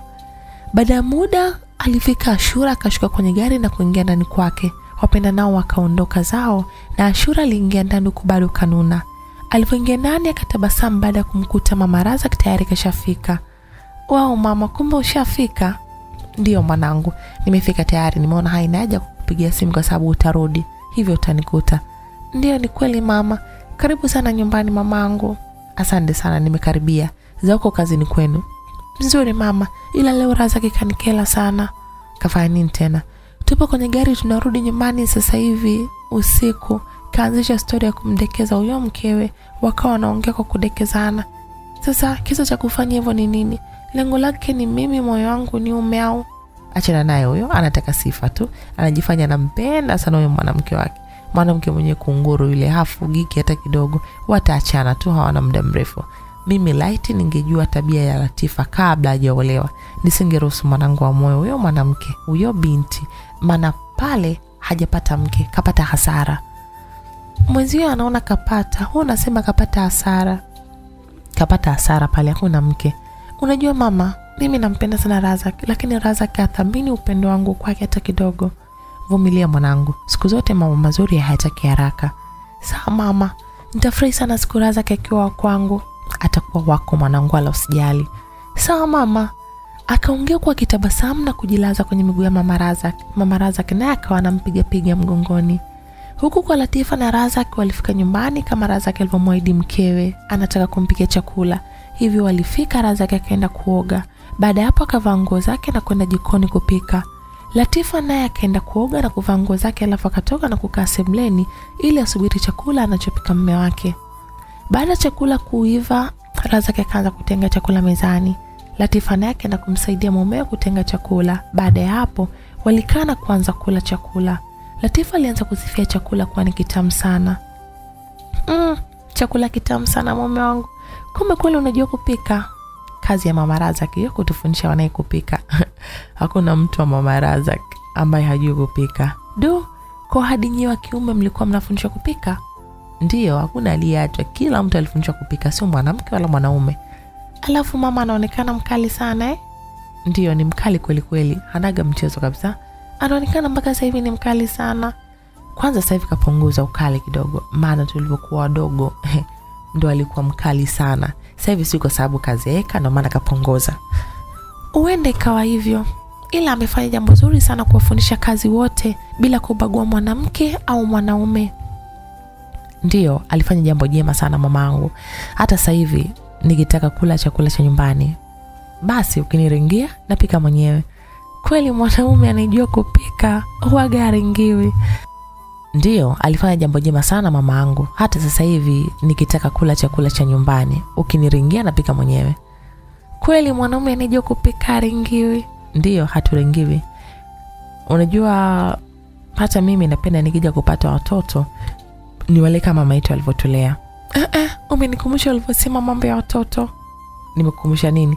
Ashura ametuambia leo kuwa ni mja mzito tumefurahi sana. Mungu amsaidie alie mimba salama ajifungue salama tupate bebi wetu tumlee.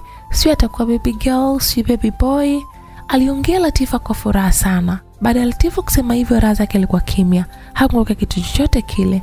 Alimwangalia mkiwa anavyoongea kwa furaha alafu akamuuliza nikuulize latifa niulize hivi kwa upande wako una hamu ya kupata mtoto wako?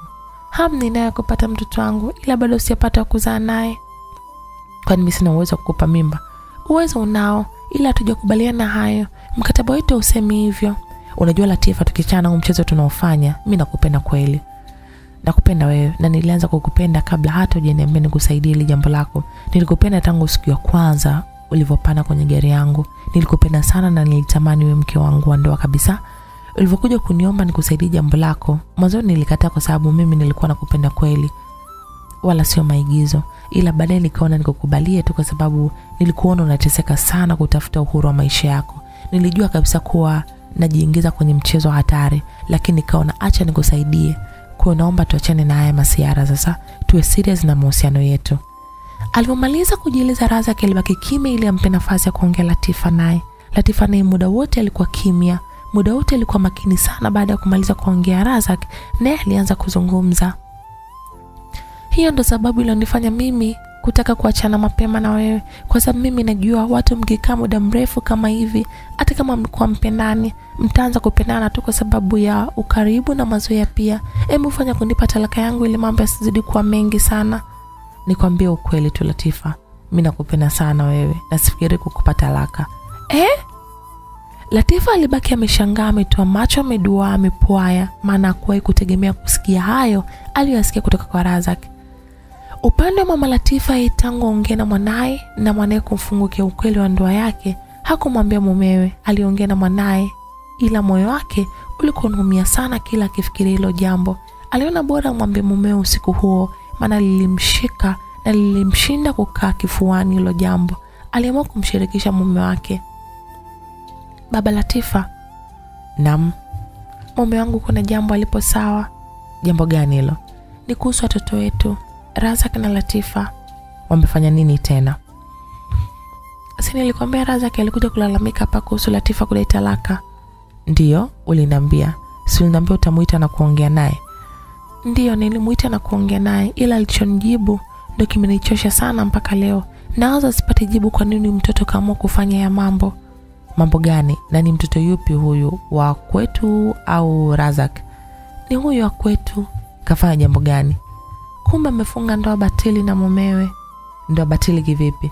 Latifa amemwomba razak amsaidie atoke hapa nyumbani maana alichoka maisha ya kubanwa.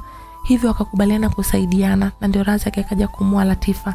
Kumbe hata mahusiano walikuwa hawana na maisha yao wanaishi huko nyumbani kwao kila mmoja na mambo yake.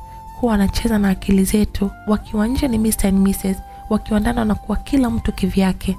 We kweli? Kweli sikutanii huo ndo ukweli. Baba latifa alinyamaza kimya kwa muda huku akionyesha kuchukizwa na alichokisikia. Sasa kisa nini mpaka akaamua kufanya yote hayo? Kisa kumbanabana akae nyumbani wakati yeye kukaa nyumbani hataki anataka aishi kivyake. Kwani yeye anataka kufanya nini mpaka anataka akae peke yake? Sielewi He, latifa na michezo ya hatari sana. Sasa hapo kama ndo yenyewe ipo hivyo basi hakuna ndoa hapo. Itabidi waachane haraka iwezekanavyo nayo latifa akapange kama anavyotaka. Maana labda kuna mambo yake anataka kuyafanya akiwa peke yake. Hata mi nimefikiria hivyo. Bora waachane kuliko kuishi kwenye ndoa ya namna hiyo. Baba latifa alichukua simu yake muda huo na kumpigia razak.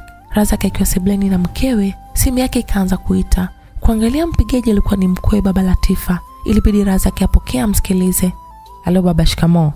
Maraba razak. Vipi hali zenu? Sisi hatujambo baba.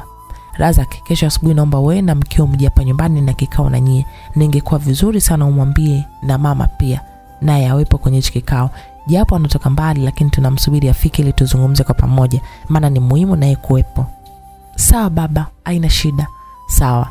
Baba latifa alikata simu na razak alibaki kaduaa anajiuliza maswali kichwani kwake kuhusu hicho kikao latifa alimuuliza mume wake baada ya kumwona yupo mbali kimawazo.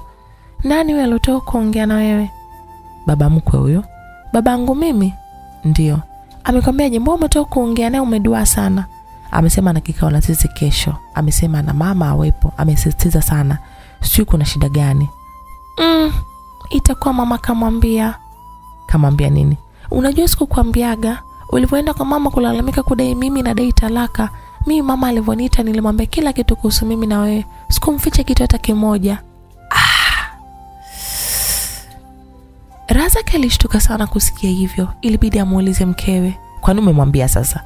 Nilimwambia kwa sababu wewe umeanza kupeleka kesi nyumbani. Unafikiri mimi ningemwambiaje mamangu? Latifa sasa ungemwambia haya. Singemwambia yani umefanya nini sasa Razaki, siku zote uongo hautakiwi ukawe muda mrefu. Ukikaa muda mrefu, mwisho wake ni kuumbuka, kwa sababu siku zote njia ya mwongo ni fupi sana. Sasa itakuwa mama kamwadithia baba, na baba hicho kikao anachotuita itakuwa anataka tuachane. Razak alikosa cha kusema, alibaki kimya tu mpaka nguvu zilimwishia. Hakuelewa atafanya nini mpaka muda huo, maana hakufikiria kama Latifa anaweza kuisema siri yao hiyo kwa mtu yoyote yule. Huku kwa Ashura na mama Raza wenyewe walikuwa wapo wanapiga stori zao tu, wote wakiwa wanaonekana wana furaha sana. Mwanangu, kesho Mungu akipenda tunaenda hospitali uanze kliniki. Eh mama, mbona mapema sana? Ni mapema ndio, na nahitaji uanze mapema hivi hivi, kwa sababu sasa hivi matatizo yamekuwa mengi sana, hivyo nahitaji mjukuu wangu akuwe katika hali ya usalama sana. Sawa mama, nimekuelewa. Kesho tutaenda kwa kuwa ni Jumapili, hatuendi kazini. Sawa mwanangu. Mara simu ya mama Razak ikaita. Kuangalia mpigaji ilikuwa ni Razak. Mama Razak alipokea na kusema, helo mwanangu. Shikamo mama. Maraba mwanangu. Jambo? Sijambo mama, samani kwa kukupigia simu usiku. Usijali, kuna nini kwani? Mama, nimepigiwa simu na baba mkwe, kaniambia kesho na kikao na sisi, mimi na mke wangu, ila kanisisitiza na wewe uwepo. Eh, eh, kinahusu nini hicho kikao? Mama, hata sielewi kinahusu nini, ila naomba mama, tujitahidi tufike tumsikilize. Naomba utoke saa tisa usiku uko nyumbani, ili mpaka muda saa mbili asubuhi umeshafika. Nauli nitakupatia ukishafika huko hiyo kesho. Tumia akiba yako. Sawa babangu, nimekuelewa. Sawa, asante sana mama yangu. Razaki alikata simu. Kuna nini mama? Razaki amesemaje? Razaki ananiambia kesho kwa wazazi wa Latifa tuna kikao asubuhi, hivyo nami natakiwa niwepo kwenye hicho kikao. Kwa hiyo itabidi asubuhi niende kwenye kikao kwanza, alafu nikirudi ndo tutaenda hospitali. Mm, kikao kitakuwa kinahusu nini? Hata sielewi mwanangu, ngoja kwanza kesho niende nikasikilize. Sawa mama. Walimaliza maongezi wakaamua kwenda kulala, maana usiku ulikuwa umeshakuwa mkubwa. Razak na Latifa nao walikuwa wameshaenda kulala kila mmoja chumbani kwake, ila Razak usiku wa siku hiyo alikosa usingizi kabisa. Mawazo yake yote yalikuwa siku ya kesho kwenye kikao itakuwaje, nini watakachoamua wazazi wa Latifa baada ya kujua ukweli wao. Jambo la kumwacha mkewe alikuwa halitaki hata kidogo, alihisi maumivu sana. Maamuzi watakaochukua wazazi wa Latifa kama kuachana na Latifa, na hilo jambo ndo alikuwa halitaki kabisa. Kulikucha asubuhi, wakaanza kujiandaa kwa ajili ya kwenda kwenye hicho kikao. Muda mwingi Razak alikuwa anawasiliana na mama yake ili kujua amefika wapi. Kumbe mama Razak alikuwa anacheza na akili ya mwanaye, maana alikuwa yupo mjini huku huku, ila hakumwambia kama yupo. Saa tatu asubuhi wakawa wameshakutana wote nyumbani kwa wazazi wa Latifa. Bila kupoteza muda, kikao kilianza. Jamani, tumeitana hapa, kuna mambo hayaendi sawa kwa watoto wetu. Razak na Latifa hili jambo mwenye makosa sana ni Latifa. Razak hata kama tukimlaumu sawa, yeye pia akakosea, la Latifa ndo chanzo cha yote. Aliongea baba Latifa, alafu akamgeukia mwanaye na kumwambia Latifa, naomba tueleze kila kitu kuhusu ndoa yako kama ulivyokuja kumhadithia mama yako. Aliongea baba Latifa kuwa anamwangalia mwanaye. Latifa alikaa kimya kwa muda kabla hajaanza kuongea. Alikuwa anajiuliza aanzie wapi kwenye kutoa maelezo. Baadaye alianza kusema Naomba mnisame sana wakubwa zangu kwa hili nililolifanya, ila kiukweli ndoa yangu mimi na Razak sio ndoa ya kweli, ni ndoa feki. Mbele za watu tunaigiza sisi ni mke na mume, ila tukiwa peke yetu kila mmoja anakuwa kivyake. Eh, eh. Ndo ndoa aina gani hiyo? Alishtuka mama Razak na kuhoji swali hilo. Unaweza ukatuambia Latifa sababu za kufanya hivyo? Baba Latifa alimuuliza swali lingine binti yake. Sababu ni kupata uhuru wa kutoka hapa nyumbani nikaishi kivyangu. Kwa nini unataka ukae peke yako? Hapo Latifa akawa hana jibu la kumjibu babake alibaki kainamisha kichwa chini. Lazak anavyoongea Latifa yana ukweli? Mama Razak alimuuliza mwanae huku akiwa anamwangalia. Ndiyo mama, ni kweli. Mungu wangu, Razak, kwa nini umeamua kufanya hivyo? Naomba nisamee mama, ila kiukweli mi nampenda sana Latifa. Nilitamani awe mke wangu muda mrefu sana tangu tujuane, ila nilikuwa nashindwa kumwambia kwa sababu ambazo zilikuwa chini ya uwezo wangu. Sababu gani hizo? Aliuliza baba Latifa. Mimi katika maisha yangu ya nyuma kuna mtihani niliupata ambao mpaka sasa hivi kuna baadhi ya maamuzi nashindwa kuyafanya. Mtihani gani huo? Mimi nilikuwa na mahusiano ya kimapenzi na dada mmoja hivi, tulidumu kwenye mahusiano kwa muda mrefu, ila baadaye tukaja kuachana na yule dada, tukawa kila mmoja upo na maisha yake. Tulipotezana kwa muda mrefu sana, ila siku moja nilipigiwa simu na namba ngeni. Baada ya kupokea uh, sauti ya mtoto wa kike ilisikika akiongea. Alijitambulisha kuwa ni mdogo wake na Aisha ambaye ndo mpenzi wangu alikuwa. Akanambia Aisha anaumwa sana, anaomba niende nikamuone. Mi nilikataa, ila yule binti alikuwa ananipigia simu mara kwa mara na kuniambia dada yake ananiita, anaomba tuonane, nataka tuzungumze. Baada ya kukataa sana, nikaamua nikubali kwenda kumwona ili nimsikilize tena shida gani anayo. Mdogo wa Keisha alinieleza kijijini kwao kwa sababu alikuwa tayari kasharudi kijijini, na siku moja nilienda huko kwao kumwona. Nilifanikiwa kufika na nikamkuta Aisha. Ni kweli alikuwa anaumwa sana, kwani alikuwa ni kitandani. Nilimpa pole kwa ajili ya kuumwa, aliitikia hapo hapo. E, nikamuuliza alichoniitia nini. Aisha akaanza kuniomba msamaha. Mwanzoni sikuelewa msamaha ni wa nini, lakini baada ya kumuuliza akaniambia lengo la kuniomba msamaha, ananiomba msamaha kwa sababu kaniambukiza virusi vya ukimwi. Nini? Alishtuka mama Razak na kutoa macho baada ya kusikia hayo. Hata wazazi wa Latifa pamoja na Latifa mwenyewe wote walishtuka baada ya kusikia hivyo, maana hawakuwahi kufikiria kama Razak anaweza akawa na hayo maradhi. Razak aliendelea kuwahadithia. Sikumwelewa ule dada, ila alianza kunieleza ilivyokuwa kwamba tangu tunaanza mahusiano ya mapenzi alikuwa tayari na hiyo shida, ila alinificha nisijue chochote kile. Ila baada ya kuachana, moyo wake ulikuwa unamuuma sana kwa kitendo alichonifanyia.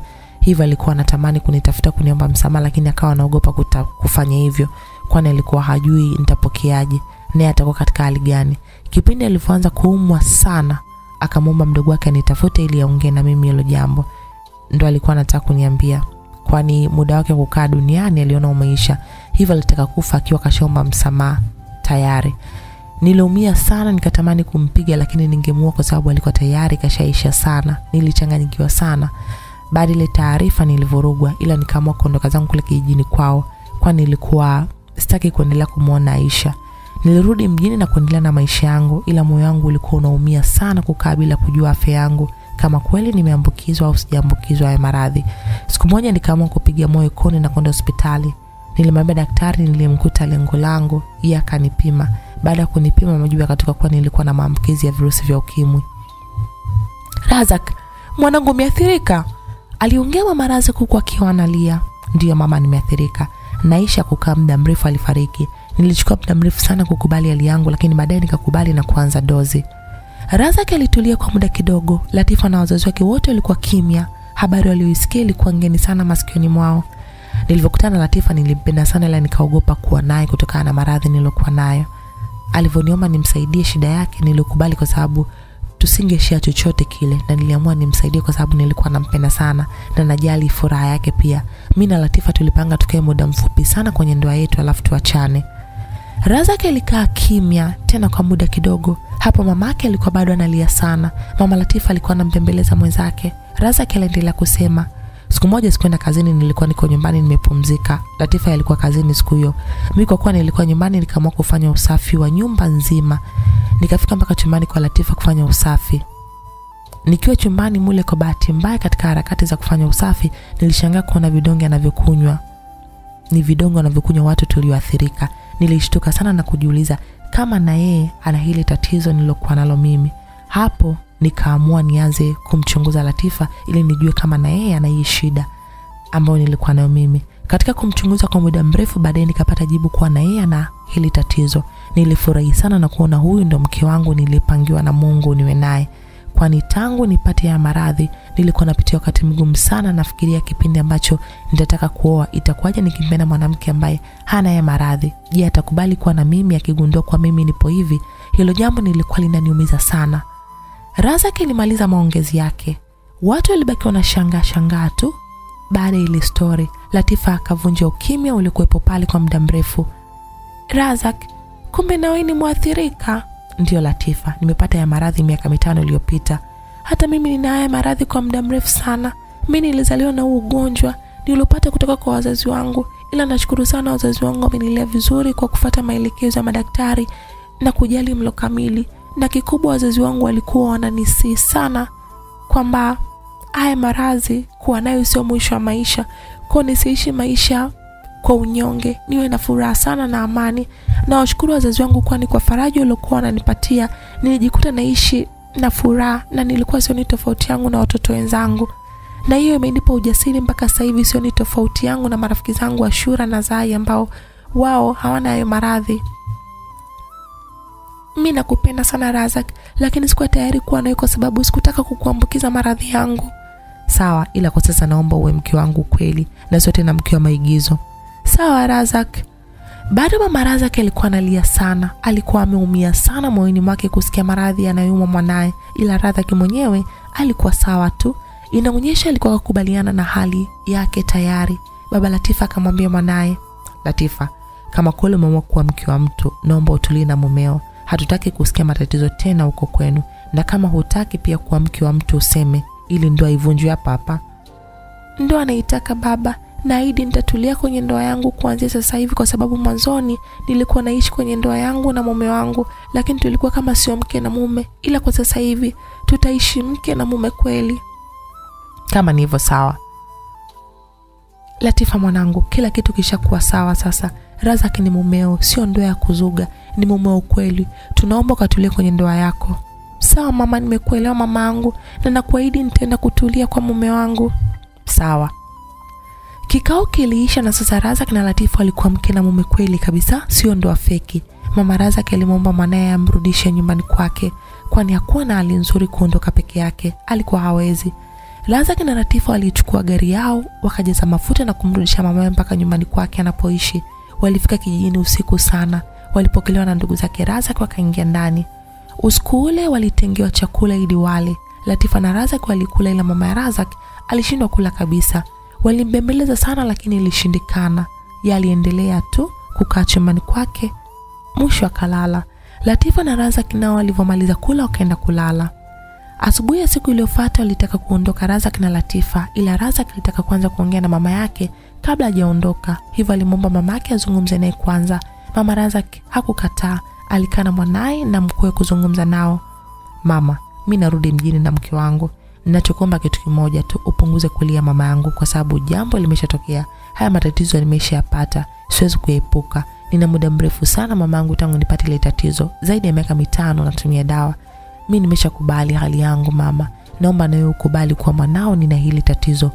Turuhusu maisha mengine yaendelee, kwa sababu ukilia muda wote utajiumiza tu mama yangu, na hakitabadilika chochote kile, zaidi utaishia kujiumiza tu. Hivyo basi, naomba ukubaliane na hali yangu. Mama Razak alianza kulia upya, alilia sana. Latifa ndo alikuwa anambembeleza mkwewe apunguze kulia. Razak naye akaona aingilie kati kumbembeleza mama ili asilie baada ya kuona kilio kinazidi sana. Baada ya kulia kwa muda mrefu, mama Razak akasema, sawa mwanangu, sawa, mimi nimekubali mimi, maana hata nikikataa siwezi kubadilisha chochote kile. Kama wewe mwenyewe umekubali hali yako, mi nitasemaje sasa? Mama Razak alimgeukia Latifa ambaye alikuwa pembeni yake, akamwangalia na kumwambia, Latifa binti yangu, nisamee mimi, nisamee sana, maana nilikuwa sijui chochote kile kuhusu wewe na mwenzako nilikuchukia sana mwanangu, sikuwa upande wako hata siku moja. Naomba nisamee sana mwanangu. Usijali mamangu, na kama usije kujijutia kwa hili, kwa sababu ulikuwa hujui chochote kile. Naomba tuishi kwa amani mama. Nampenda mwanao na naahidi kuwa mke mwema sana kwa mme wangu. Nashukuru mwanangu, naomba mshikamane na mumeo, na hata ikitokea nimekufa, naomba mwendelee kuwa pamoja na mumeo. Sawa mamangu, nimekuelewa sana mama. Si tunaondoka nyumbani kwetu sasa ili tukajiandae kwa ajili ya kurudi kwenye majukumu yetu. Sawa mwanangu, safari njema, mfike salama na pia muishi salama. Sawa mama. Razak na Latifa wakaondoka zao kurudi nyumbani kwao. Latifa ikabidi ampe taarifa Zai kuwa ana matatizo ya kifamilia, ndio maana kutokea kazini siku hiyo. Ofisini walikuwa wawili tu, Ashura na Zai walikuwa wenyewe wanapiga stori japo Ashura hakuwa poa sana, maana tangu jana nampigia simu mama Razak, lakini simu haipokelewi kabisa. Simu ya Zai ilianza kuita. Zai akachukua na kuangalia, anayempigia alikuwa Latifa. Hello Mrs Razak, vipi hali yako mama? Safi Zai, mko poa nyie?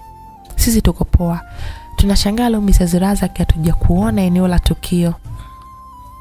Leo nina dharura mwenzenu kidogo, niko mbali, siwezi kuahidi kuwa nitatokea kazini leo. Hivyo nitakuja kesho mungu akipenda. Sawa mama usijali. Si tuko hapa tunaendelea kupiga kazi na mama kijacho wangu. Msalimie mama kijacho mwambie nimemisia sana. Kesho tutaonana. Poa. Zimefika. Haya zai baadaye. Poa lati. Latifa alikata simu na kuweka pembeni. Wakaendelea kupiga stori na mume wake ukuraza razaki akiwa akashikilia usukani vizuri sana ashura alikuwa anatamani sana kujua mama razaki ana shida gani lakini alikuwa hana wakumuuliza kabisa hivyo alibaki kunywea sana. Hali ya kuwa mnyonge zai aliiona ikabidi amuulize. Ashura vipi mbona kama leo haupo sawa mami? Shida nini? Zai weacha tu. Kusema ukweli sijisikii vizuri hata kidogo natamata niende nyumbani nikapumzike. Jamani leo mnataka mniache ofisini peke yangu maana latifa akanipigia simu hapa akaniambia hataweza kufika leo na dharura. Na wewe unasema ujisikii poa. Kwao nabaki peke yangu. Aya bwana wewe nenda nyumbani kapumzike. Ngoja mi nikomae ila nahisi nitafunga mapema leo ofisi. Latifa ana dharura gani kwani? Mm. sijui sijamuuliza ni dharura gani. Ah, basi acha mimi niondoke. Maana sina mudi ya kukaa kazini kabisa leo. Sawa mama wewe nenda kapumzike ashura alitoka akaenda kukodi pikipiki iliyompeleka mpaka nyumbani kwake. Alimlipa pesa yake bodaboda aliyempeleka nyumbani alafu akaingia chumbani kwake. Alijilaza kitanani na kuendelea kumpigia simu mama razak ila bado simu ilikuwa haipatikani. Ashura alipata wazo la kumpigia latifa huenda akapata jibu la maswali yake. Alichukua simu na kutafuta namba ya latifa na kupiga. Latifa muda huo alikuwa ipo kwenye gari na mume wake bado hapo kwenye safari. Simu yake iliita kuangalia mpigaji alikuwa ashura. Latifa akasema "Mhm. Ashura huyo ananipigia simu. Baada ya kusema hivyo akapokea simu na kuweka sikioni. Halo ashura mambo? Poa latifa niambie. Safi tu mami. Nimesikia una zarula. ndiyo nina zarula, nimemwambia zai. Zarula gani hiyo? Ni zarula ya kawaida ashura ila kesho nitakuja hapo. Sawa mami. Karibu sana maana nimekumisi sana. Amna hujanimisi wewe ila akanimisi kijacho wangu ashura alijichekesha tu kinafiki na kukata simu bila kupata chochote kile ambacho alikuwa anakitaka kwa latifa. Bado alikuwa ipo gizani kwani latifa alikuwa na furaha sana alivyoongea naye. Alishindwa kuelewa kimetokea nini huko. Mtu wa kumpa taarifa alikuwa ni mama razak lakini mama razak ndo hivyo apokee simu. Razak na latifa walifika nyumbani kwao salama. Wakampigia simu mamawe na kumjulisha kuwa wamefika. Wako tayari nyumbani.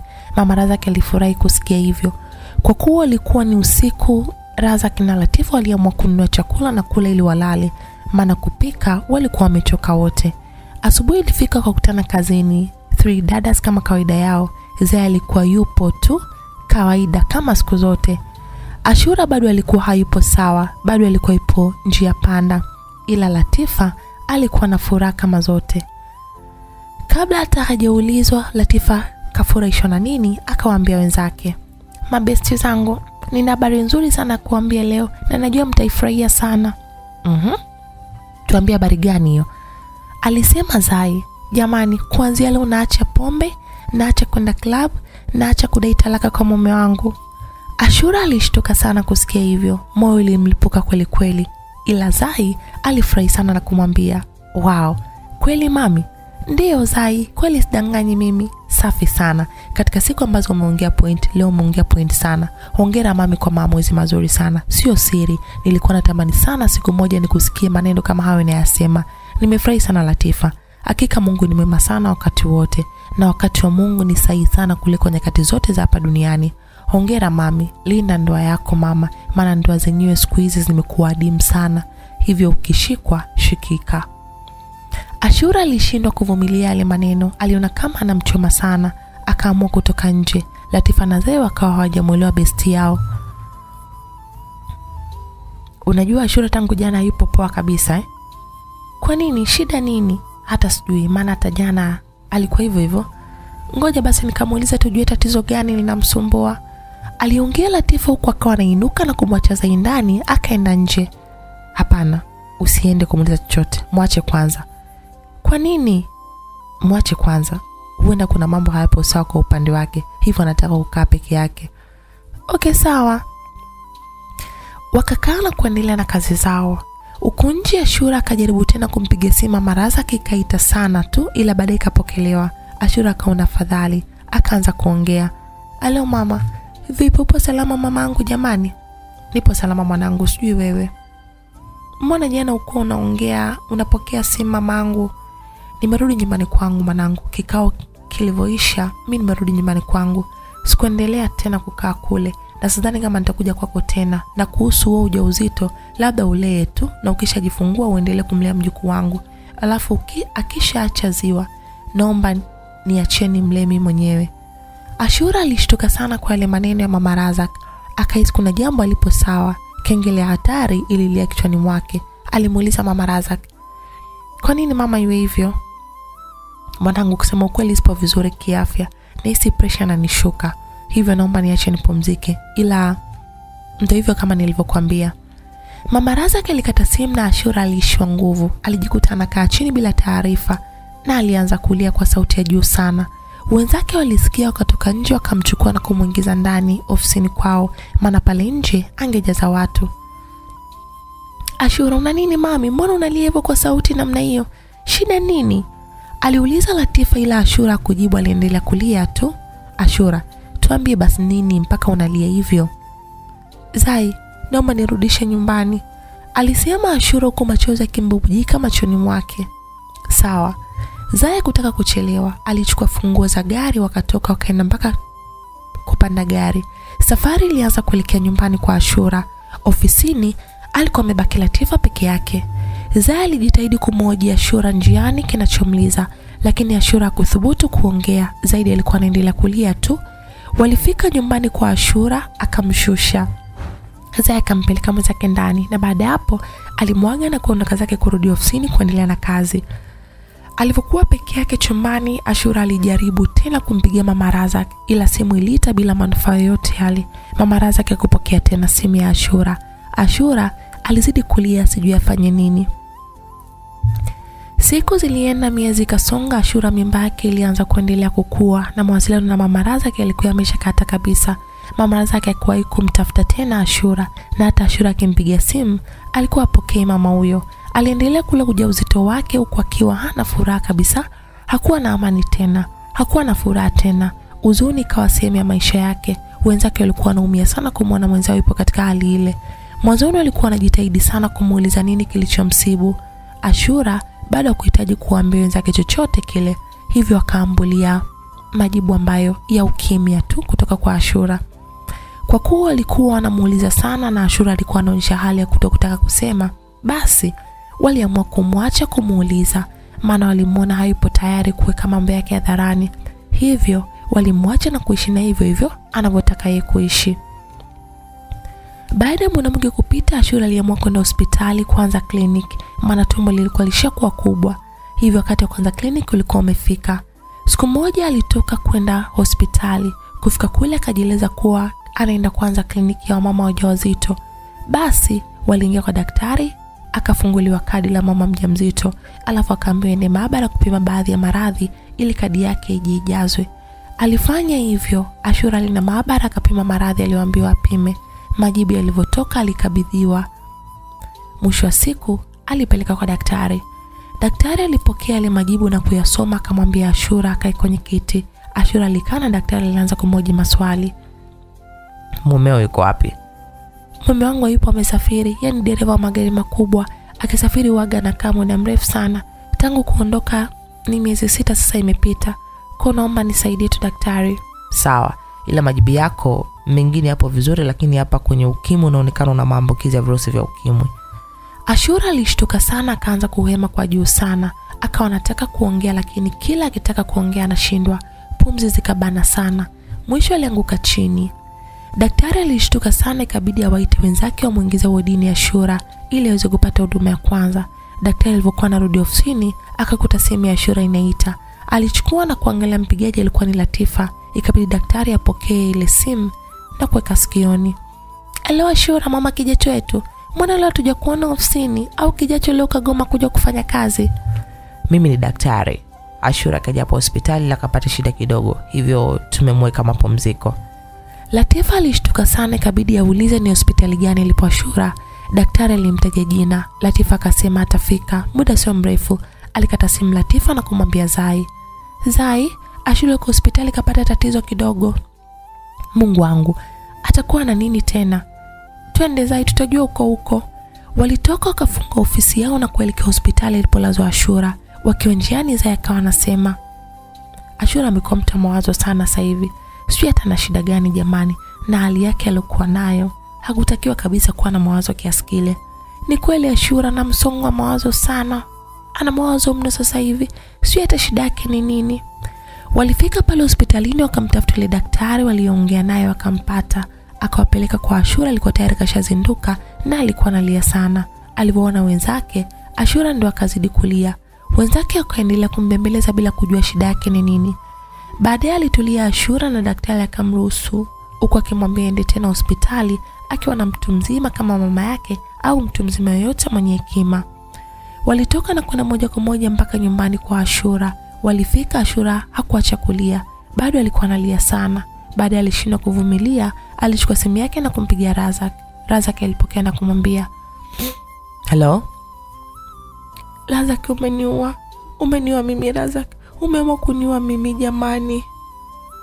Aliongea huku analia ashura. Wenzake walimshanga sana kumsikia mwenzao anasema hivyo. Ikabidi zaya amuulize kwanza ili awaambie vizuri maana yake. Ashura unamaanisha nini kusema hivyo zai mweza razak kaniua. Kaniua mimi kaamua kuniambukiza maradhi yake. Kaniua mimi kaniua kaniua. Razaki kaniambukiza ukimwi mimi. Eh, eh. wenzake wote walishtuka sana kusikia hali aliyosema ashura. Latifa ikabidi amuulize ashura. Unasemaje ashura? Razaki mume wangu ndo kakuambukiza maradhi? Au ni razaki yupi unayemwongelea wewe? Ndiyo latifa mumeo mumeo latifa ndo kaniambukiza ukimwi. Mumeo mumeo kaniua mimi kaniua razaki kaniua. Latifa alishangaa sana na kujiuliza maswali kichwani mwake. Huku zaya akiwa haelewi kabisa nini kilichotokea. Ina maana razaki anatuchanganya mimi na rafiki yangu? Alijiuliza latifa bila kupata majibu akaona isiyo shida akampiga simu mumewe. Razaki alipokea chapu na kusema helo mke wangu naomba uje nyumbani kwa ashura sasa hivi. Sawa mke wangu. Ashura aliendelea kulia sana. Baada ya muda kidogo razaki alifika akafunga mlango na kuingia ndani. Alivyoingia tu ashura aliendelea kulia sana tu na baada ya muda kidogo razaki alifika alifungua mlango na kuingia ndani. Alivyoingia ashura alimkimbilia na kumudukia huku akawa anamwambia umeniua. Umeniua kosa langu nini mimi mpaka unifanyie hivi? Umeniua umeniua mimi razaki alimtoa mwilini kwake ashura kwa hasira sana akamwambia sijakuua mimi tena ishia popo naomba tuheshimiane. Razak anachoongea ashura kina ukweli wowote ndiyo mke wangu. Latifa na zai walishangaa sana kusikia hivyo. Ikabidi latifa aulize mlianza mahusiano ya kimapenzi lini? Kabla ya kuwa na mimi au baada ya kuwa na mimi? Baada ya kuwa na wewe mke wangu. Eh? Na kwa nini uingie kwenye mahusiano ya kimapenzi na mtoto wa watu wakati unajua kabisa afya yako sio nzuri? Latifa mke wangu kwanza naomba unisamehe sana kwa hili lililojitokeza. Na pia naomba niruhusu nikwambie ukweli kwa sababu mimi sikutaka kukusaliti na rafiki yako. Na pia sikutaka kumwambukiza maradhi ya shura. Ila huyu haya maradhi kajiambukiza mwenyewe kwa sababu ya kukurupuka kwake. Kivipi? Razaki alianza kueleza kila kitu jinsi alivyokuwa kuanzia mwanzoni mpaka sasa hivi hapo alipofikia hadi ukaribu wa mama razak na ashura hadi alivyokuwa anapeleka umbea kwa mama razak. Kila kitu alikieleza razak huku watu wote wakiwa kimya wanamsikiliza. Alivyomaliza kumwadisia latifa akamuuliza ashura ashura mimi nimeshaongea kwangu. Ashura alichoongea razak na ukweli? Ndiyo ni kweli hayo nimeyafanya nisamee latifa nisamee sana mimi. Ubaya wangu wivu wangu umeniponza mimi. Umeniponza leo nimevuna maradhi. Kweli nimeamini mwisho ubaya ni aibu. Mimi nikajua sisi marafiki watatu tunapendana sana. Kumbe sio kweli. Kuna mmoja ni mnafiki kati yetu. Kusema ukweli sijapenda tabia yako ashura hata kidogo. Kumbe ulikuwa unafurahia mwenzako anavyokunywa pombe. Hamjali mume wake. Kwa nini unakuwa hivyo hiyo ni tabia ya husda na sio nzuri kabisa. Ona sasa unichoenda kukivagaa mwenyewe. Aliongea zai kwa jazba kidogo. Na wewe razak kuwa umeamua kumwambukiza latifa maradhi yako. Mi na mtu wa maana. Kumbe huna maana una roho mbaya kiasi hicho. Aliongea zai huku akimwangalia razak. Kabla razak hajajibu hoja ya zai latifa aliingilia kati na kujibu yeye. Alimgeukia zai na kumwambia hapana zai razak hajaniambukiza maradhi haya. Ila mimi nilikuwa na hiv kabla hata sijakutana na razak mi nilizaliwa nikiwa na haya maradhi na razak alipata ya maradhi kutoka kwa mwanamke wake wa kwanza. Hivyo mpaka tunajuana kila mmoja alikuwa mwathirika.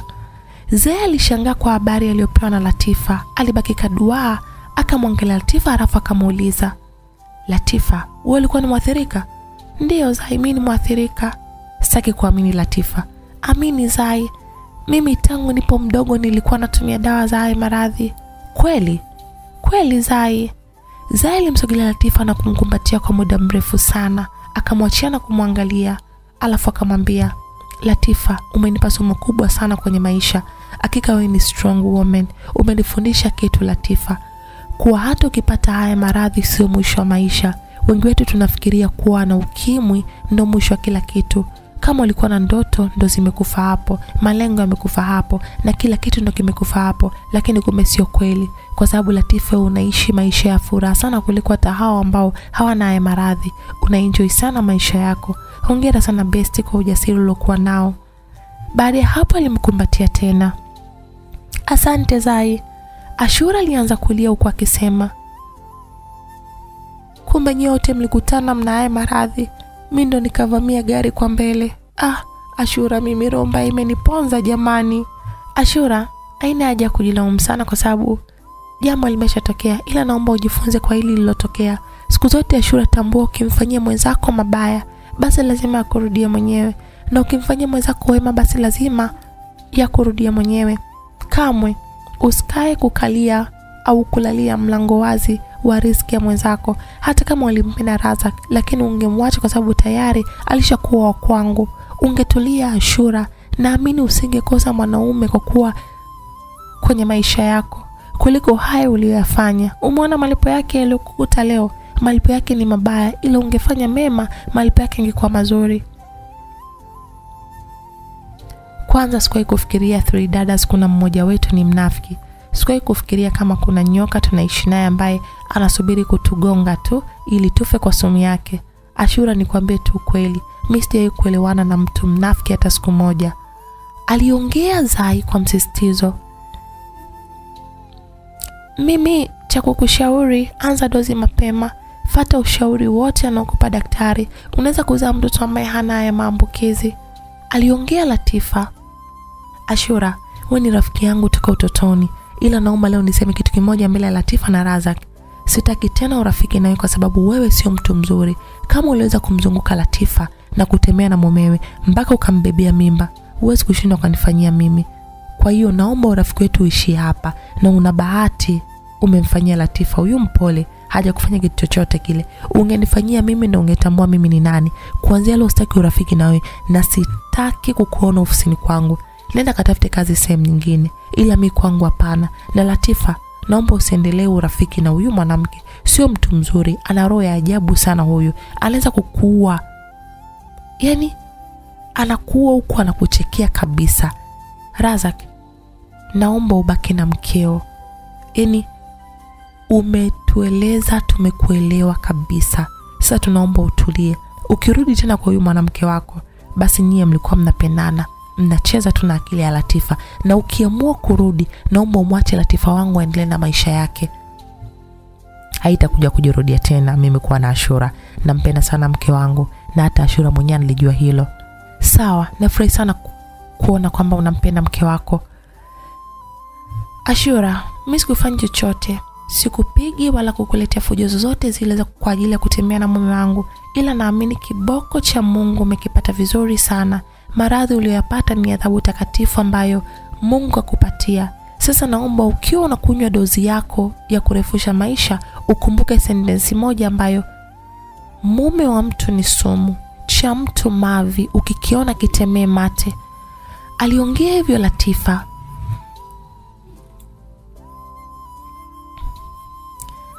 Ashura lea mimba yangu nitakuwa na kusaidia pesa ila nitakuwa siji tena hapa peke yangu nitakuwa nakuja na mke wangu kukuletea mahitaji muhimu na ukishajifungua mwanangu akiacha tu kunyonya basi nitamchukua na kumpeleka kwa mama amlee, maana tulishaongea na akaniambia huyo mtoto atamlia yeye baada ya kuacha ziwa la mama yake. Kwa hiyo nadhani kila kitu kipo sawa. Walivyomaliza kuongea yale, wakaanza kuondoka zao wote watatu. Ashura alilia sana na kuomba msamaha kwa Zaile aendelee na kazi, lakini Zai kutaka kumsikiliza kwa sababu tayari alikuwa ametoa maamuzi. Siku zilienda na kweli ukaribu wao na Ashura ulikufa kabisa.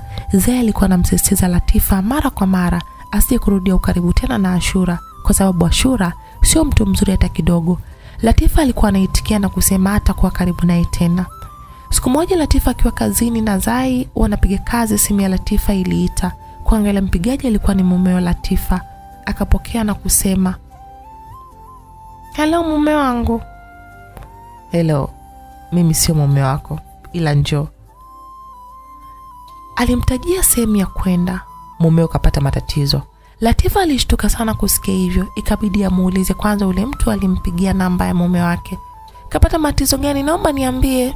We njoo, matatizo utayajua kuku ukija. Yule mtu alikata simu. Latifa alichanganyikiwa sana. Zaya akamuuliza kilichotokea. Kuna nini kwani? Laza kamepata matatizo, nimeambiwa niende sasa hivi huku alipopata matatizo. Matatizo gani? Hata sielewi mimi, maana janiambia. Mm, nikupeleke. Sawa. Walitoka Latifa na Zai wakaenda kupanda gari ya Zai. Walienda uko alipoitwa Latifa. Baada ya muda walifika na kukuta watu wengi sana eneo hilo. Latifa alizidi kushtuka sana.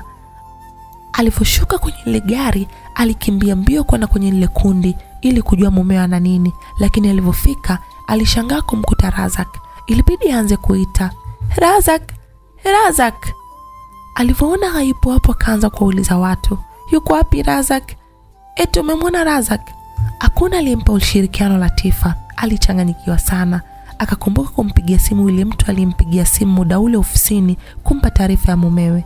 Simu aliiacha kwenye gari, hivyo akaona arudi kwenye gari kuichukua, ili anageuka tu akasikia surprise. Latifa aligeuka kumwangalia huyo mtu aliyesema hivyo. Aliishiwa nguvu baada ya kumwona, kwani alikuwa ni mumewe, tena ni mzima wa afya tele. Latifa alishangaa sana, watu waliopale wote wakaanza kupiga makofi, huku raza kilimfata Latifa na kumkumbatia, alafu akamwambia nakupenda sana mke wangu, nafurahi sana kuona na wewe unanipenda na kunijali mumeo. Alimbusu kwenye paji la uso na baada ya hapo alimkabidhi funguo mkewe, akamwambia Latifa, mke wangu, hizi ni funguo za ofisi yako. Latifa kwanza alishangana na kumwangalia mumewe usoni, maana alihisi anamtania. Akamuuliza, ofisi? Ofisi yangu? Ndiyo mke wangu, hii hapa mbele ni ofisi ambayo inahusika na mambo ya ushonaji unayoyapenda wewe. Watu walisogea pale walipojikusanya, kwani ndo kulikuwa na hiyo ofisi. Walikuwa wameificha kwa kujaa sana. Hiyo ilikuwa ni akili ya Razak aliyotumia ili kumsurprise mkewe. Latifa aliona vizuri ofisi, akasema wao. Alifurahi sana. Walisogea na kufungua mlango wake ili waingie ndani. Alifurahi zaidi Latifa baada ya kuingia ndani. Ofisi ilikuwa ni nzuri sana, yenye kupendeza na kuvutia. Siku zote Latifa alikuwa na ndoto za kuja kumiliki ofisi yake mwenyewe, hivyo mumewe alifanikisha ndoto ya Latifa. Alijikuta anashindwa kuvumilia. Latifa akamsogelea mume wake na kumkumbatia kwa maaba sana na kumwambia, asante sana mume wangu kwa kunijali na kujali ninachokifanya. Asante pia mke wangu kwa kunishukuru. Walijikuta wanakumbatiana kwa muda, huku Latifa machozi ya furaha yanamtoka machoni pake. Baadaye ikafanyika sherehe ndogo ya kumkabidhi Latifa ofisi yake. Zaya alimpongeza sana rafiki yake na kumwambia, Latifa, mambo aliokufanyia Razak leo yamenikumbusha Rahim jinsi alivyonikabidhi ile ofisi yangu, naye alinifanyia surprise kama wewe ulivyofanyia Razak. Ilikuwa ni siku ya birthday yangu, ndio alinikabidhi ile ofisi. Aliongea Zaya huku akiwa na tabasamu. Walijikuta wanakumbatiana wote wawili kwa furaha sana. Zaya akamwambia mwenzake, Latifa, Razak ni mwanaume sahihi sana kwako, naomba mdumu katika ndoa yenu. Nimekuelewa Zai, naahidi nitakuwa na mume wangu mpaka mwisho wa maisha yangu. Aliongea Latifa huku machozi ya hisia kali sana akiwa anamtoka kidogo kidogo machoni mwake. Sherehe ikaisha na watu alirudi nyumbani. Iliisha usiku, kwa hawakurudi tena kazini, kila mmoja alienda kwake. Walifika nyumbani Latifa na Razak wakiwa chumbani. Razak akamwambia Latifa, mke wangu, leo nimejipanga sana. Umejipanga? Ndiyo. Umejipanga na nini? aliuliza Latifa huku akiwa anamwangalia mume wake. Razak akuongea kitu, alienda kwenye draw ya kabati akafungua na kutoa bahasha ndogo tu, akaenda kumpatia mkewe na kumwambia, naomba ufungue bahasha. Latifa alifungua bahasha na kukuta hela zimejaa mule kwenye ile bahasha. Alishangaa sana na kusema, mume wangu, hizi pesa zote ni za nini? Naomba uzihesabu. Latifa alikaa kitandani kwao na kuanza kuzihesabu zile hela, akapata ni milioni mbili cash. Akamwambia mume wake, tayari nimesha hesabu. Ni shilingi ngapi? Ni milioni mbili hizi. Sawa mama, hapo nishalipa deni langu. Ushalipa deni lako? Ndiyo, nishalipa. Deni gani sasa? Mimi nishalipa hapo, hatudaiani. mwana sikuelewi razaki nini maana yako? razaki alitabasamu alafu akamsogelea mkewe karibu sana, akamkisi mdomoni kwake alafu akamwambia, mke wangu, kipindi na kuoa niliambiwa ni milioni mbili mahari yako, na hiyo pesa ulijilipia wewe mwenyewe. Sio siri, kipindi kile sikufurahia kabisa hilo jambo la kujilipia mahari, ila nilikubali kwa sababu ya ndoa feki. Ila sasa hivi ni mke wangu halali kabisa, kwa hiyo ni mahali yako ulioitoa kipindi kile, kwa sababu mimi natakiwa nikutolee mahari wewe na sio ujitolee mahari mwenyewe. Kwa kumbe uliweka deni? Ndiyo, niliweka deni na kusema tu nitakuja kukulipa siku moja. Nashukuru leo nimelipa. Latifa alifurahi sana na kumkumbatia mume wake na kumwambia asante sana mume wangu, nakupenda sana. Nakupenda pia mke wangu. Miezi ya kujifungua Ashura ilifika na Razak akaandaa kila kitu, na siku ilivyofika Ashura akaenda kujifungua kwa operation. Alifanikiwa kupata mtoto wa kike. Ilikuwa ni furaha sana kwa Raza kwa kupata mtoto wa kike wa kwanza. Kipindi hicho Latifa naye alikuwa tayari ni mjamzito. Razak na Latifa walikuwa wanaenda wote kwa Ashura kupeleka huduma mara kwa mara pamoja na kumwona mtoto. Siku moja Latifa alikuwa ajisikii vizuri, akamwambia Razak aende peke yake kumwona mtoto na kumpelekea baadhi ya vitu. Razak alienda na alipofika kule, Ashura alifurahi sana kumwona Razak akaenda peke yake siku hiyo. Akamwambia Razak, bora leo umekuja peke yako, maana sipendangi unavyokujaga na ule mwanamke wako. Usimuite mwanamke wangu, sema mke wangu. Naomba umuheshimu mke wangu na sio kumdharau. Najua unampenda, ila haina haja kujionyesha kuwa unampenda sana, ila mi nina ombi moja. Niambie, naomba uniwe nami niwe mke wako wa pili. Umeniharibia future ya maisha yangu yote. Mimi kuoa tena? Hapana, sitakuja kuoa tena katika maisha yangu kwa sababu mke wangu ananitosha sana. Alafu yani, usinipe dhambi, mimi sijaharibu chochote kwenye maisha yako, ila kama kuharibu umeharibu mwenyewe. Naomba niache niondoke, nimwahi mama kijacho wangu. Alafu naomba uweke akilini kitu kimoja tu, mimi sikutaki wewe hata kidogo, ila ulijilengesha basi, na utambue hata nikirudi kutembea na wewe, ila jua kitu kimoja, Latifa nina pamoja moja kwangu, ye anatembea na moyo wangu, natakiwa ukome kiakili, komaa kabisa. Mimi nikajua kwa haya yote yaliyotokea umepata akili, kumbe bado unataka kuendelea kuwa na mimi. Mi hata nikirudiana na wewe nitakutumia tu, wala sitakuoa, na kila siku lazima nirudi kwa mke wangu. Kwa wewe nitaishia kukutumia kwa kuibaiba tu, hivyo unatakiwa ujue thamani yako. Sawa binti, jiheshimu, upate waheshima, ila ukijidharau utaishia kudharaulika siku zote. Alipomaliza kusema hivyo, Razak akafungua mlango na kuondoka zake kurudi nyumbani kwake. Siku zilivyosogea, hatimaye Latifa naye akajifungua kwa operation, naye alipata mtoto wa kiume. Razak alifurahi sana na wazazi wake Latifa walifurahi sana kupata mjukuu wao wa kwanza. Alikadhalika mama Razak naye alifurahi sana. Zai alienda kumwona mwenzake, kwani sasa hivi walikuwa hawafanyi kazi ofisi moja, kila mmoja alikuwa na ofisi yake. Baada ya muda, Raimu mpenzi wa Zai alirudi Tanzania, na alivyorudi tu alimuoa Zai na kuondoka naye kwenda kuishi Marekani. Miaka mitatu ikapita, mtoto wa Ashura akawa mkubwa na hata mtoto wa Latifa naye alikuwa mkubwa. Razak alichokifanya alienda kumchukua mtoto wake kwa Ashura ili amlie mwenyewe. Ashura akukataa kwa sababu maisha yalikuwa yamempiga haswa, hivyo akaona bora akaliliwe na baba yake naye apambane kivyake. Razak na Latifa wakawa wanalia watoto wawili wa Ashura na wa Latifa. Furaha ya Razak na Latifa ilikuwa ni kubwa sana baada ya kuwafanyia vipimo mara kadhaa watoto wao na kuonekana hawana maambukizi ya virusi vya ukimwi. Walifurahi sana kuona afya za watoto wao zipo vizuri. Latifa aliwalia watoto wote kwa upendo sana bila kuangalia huyu wala yule, na maisha yalijaa amani na upendo sana. Mara chache chache Latifa na Zai walikuwa wanawasiliana kwa video call, walizungumza mambo yao. Zai naye alikuwa akajaliwa mtoto mmoja wa kiume, hivyo kila mmoja alikuwa na furaha sana kwenye ndoa yake.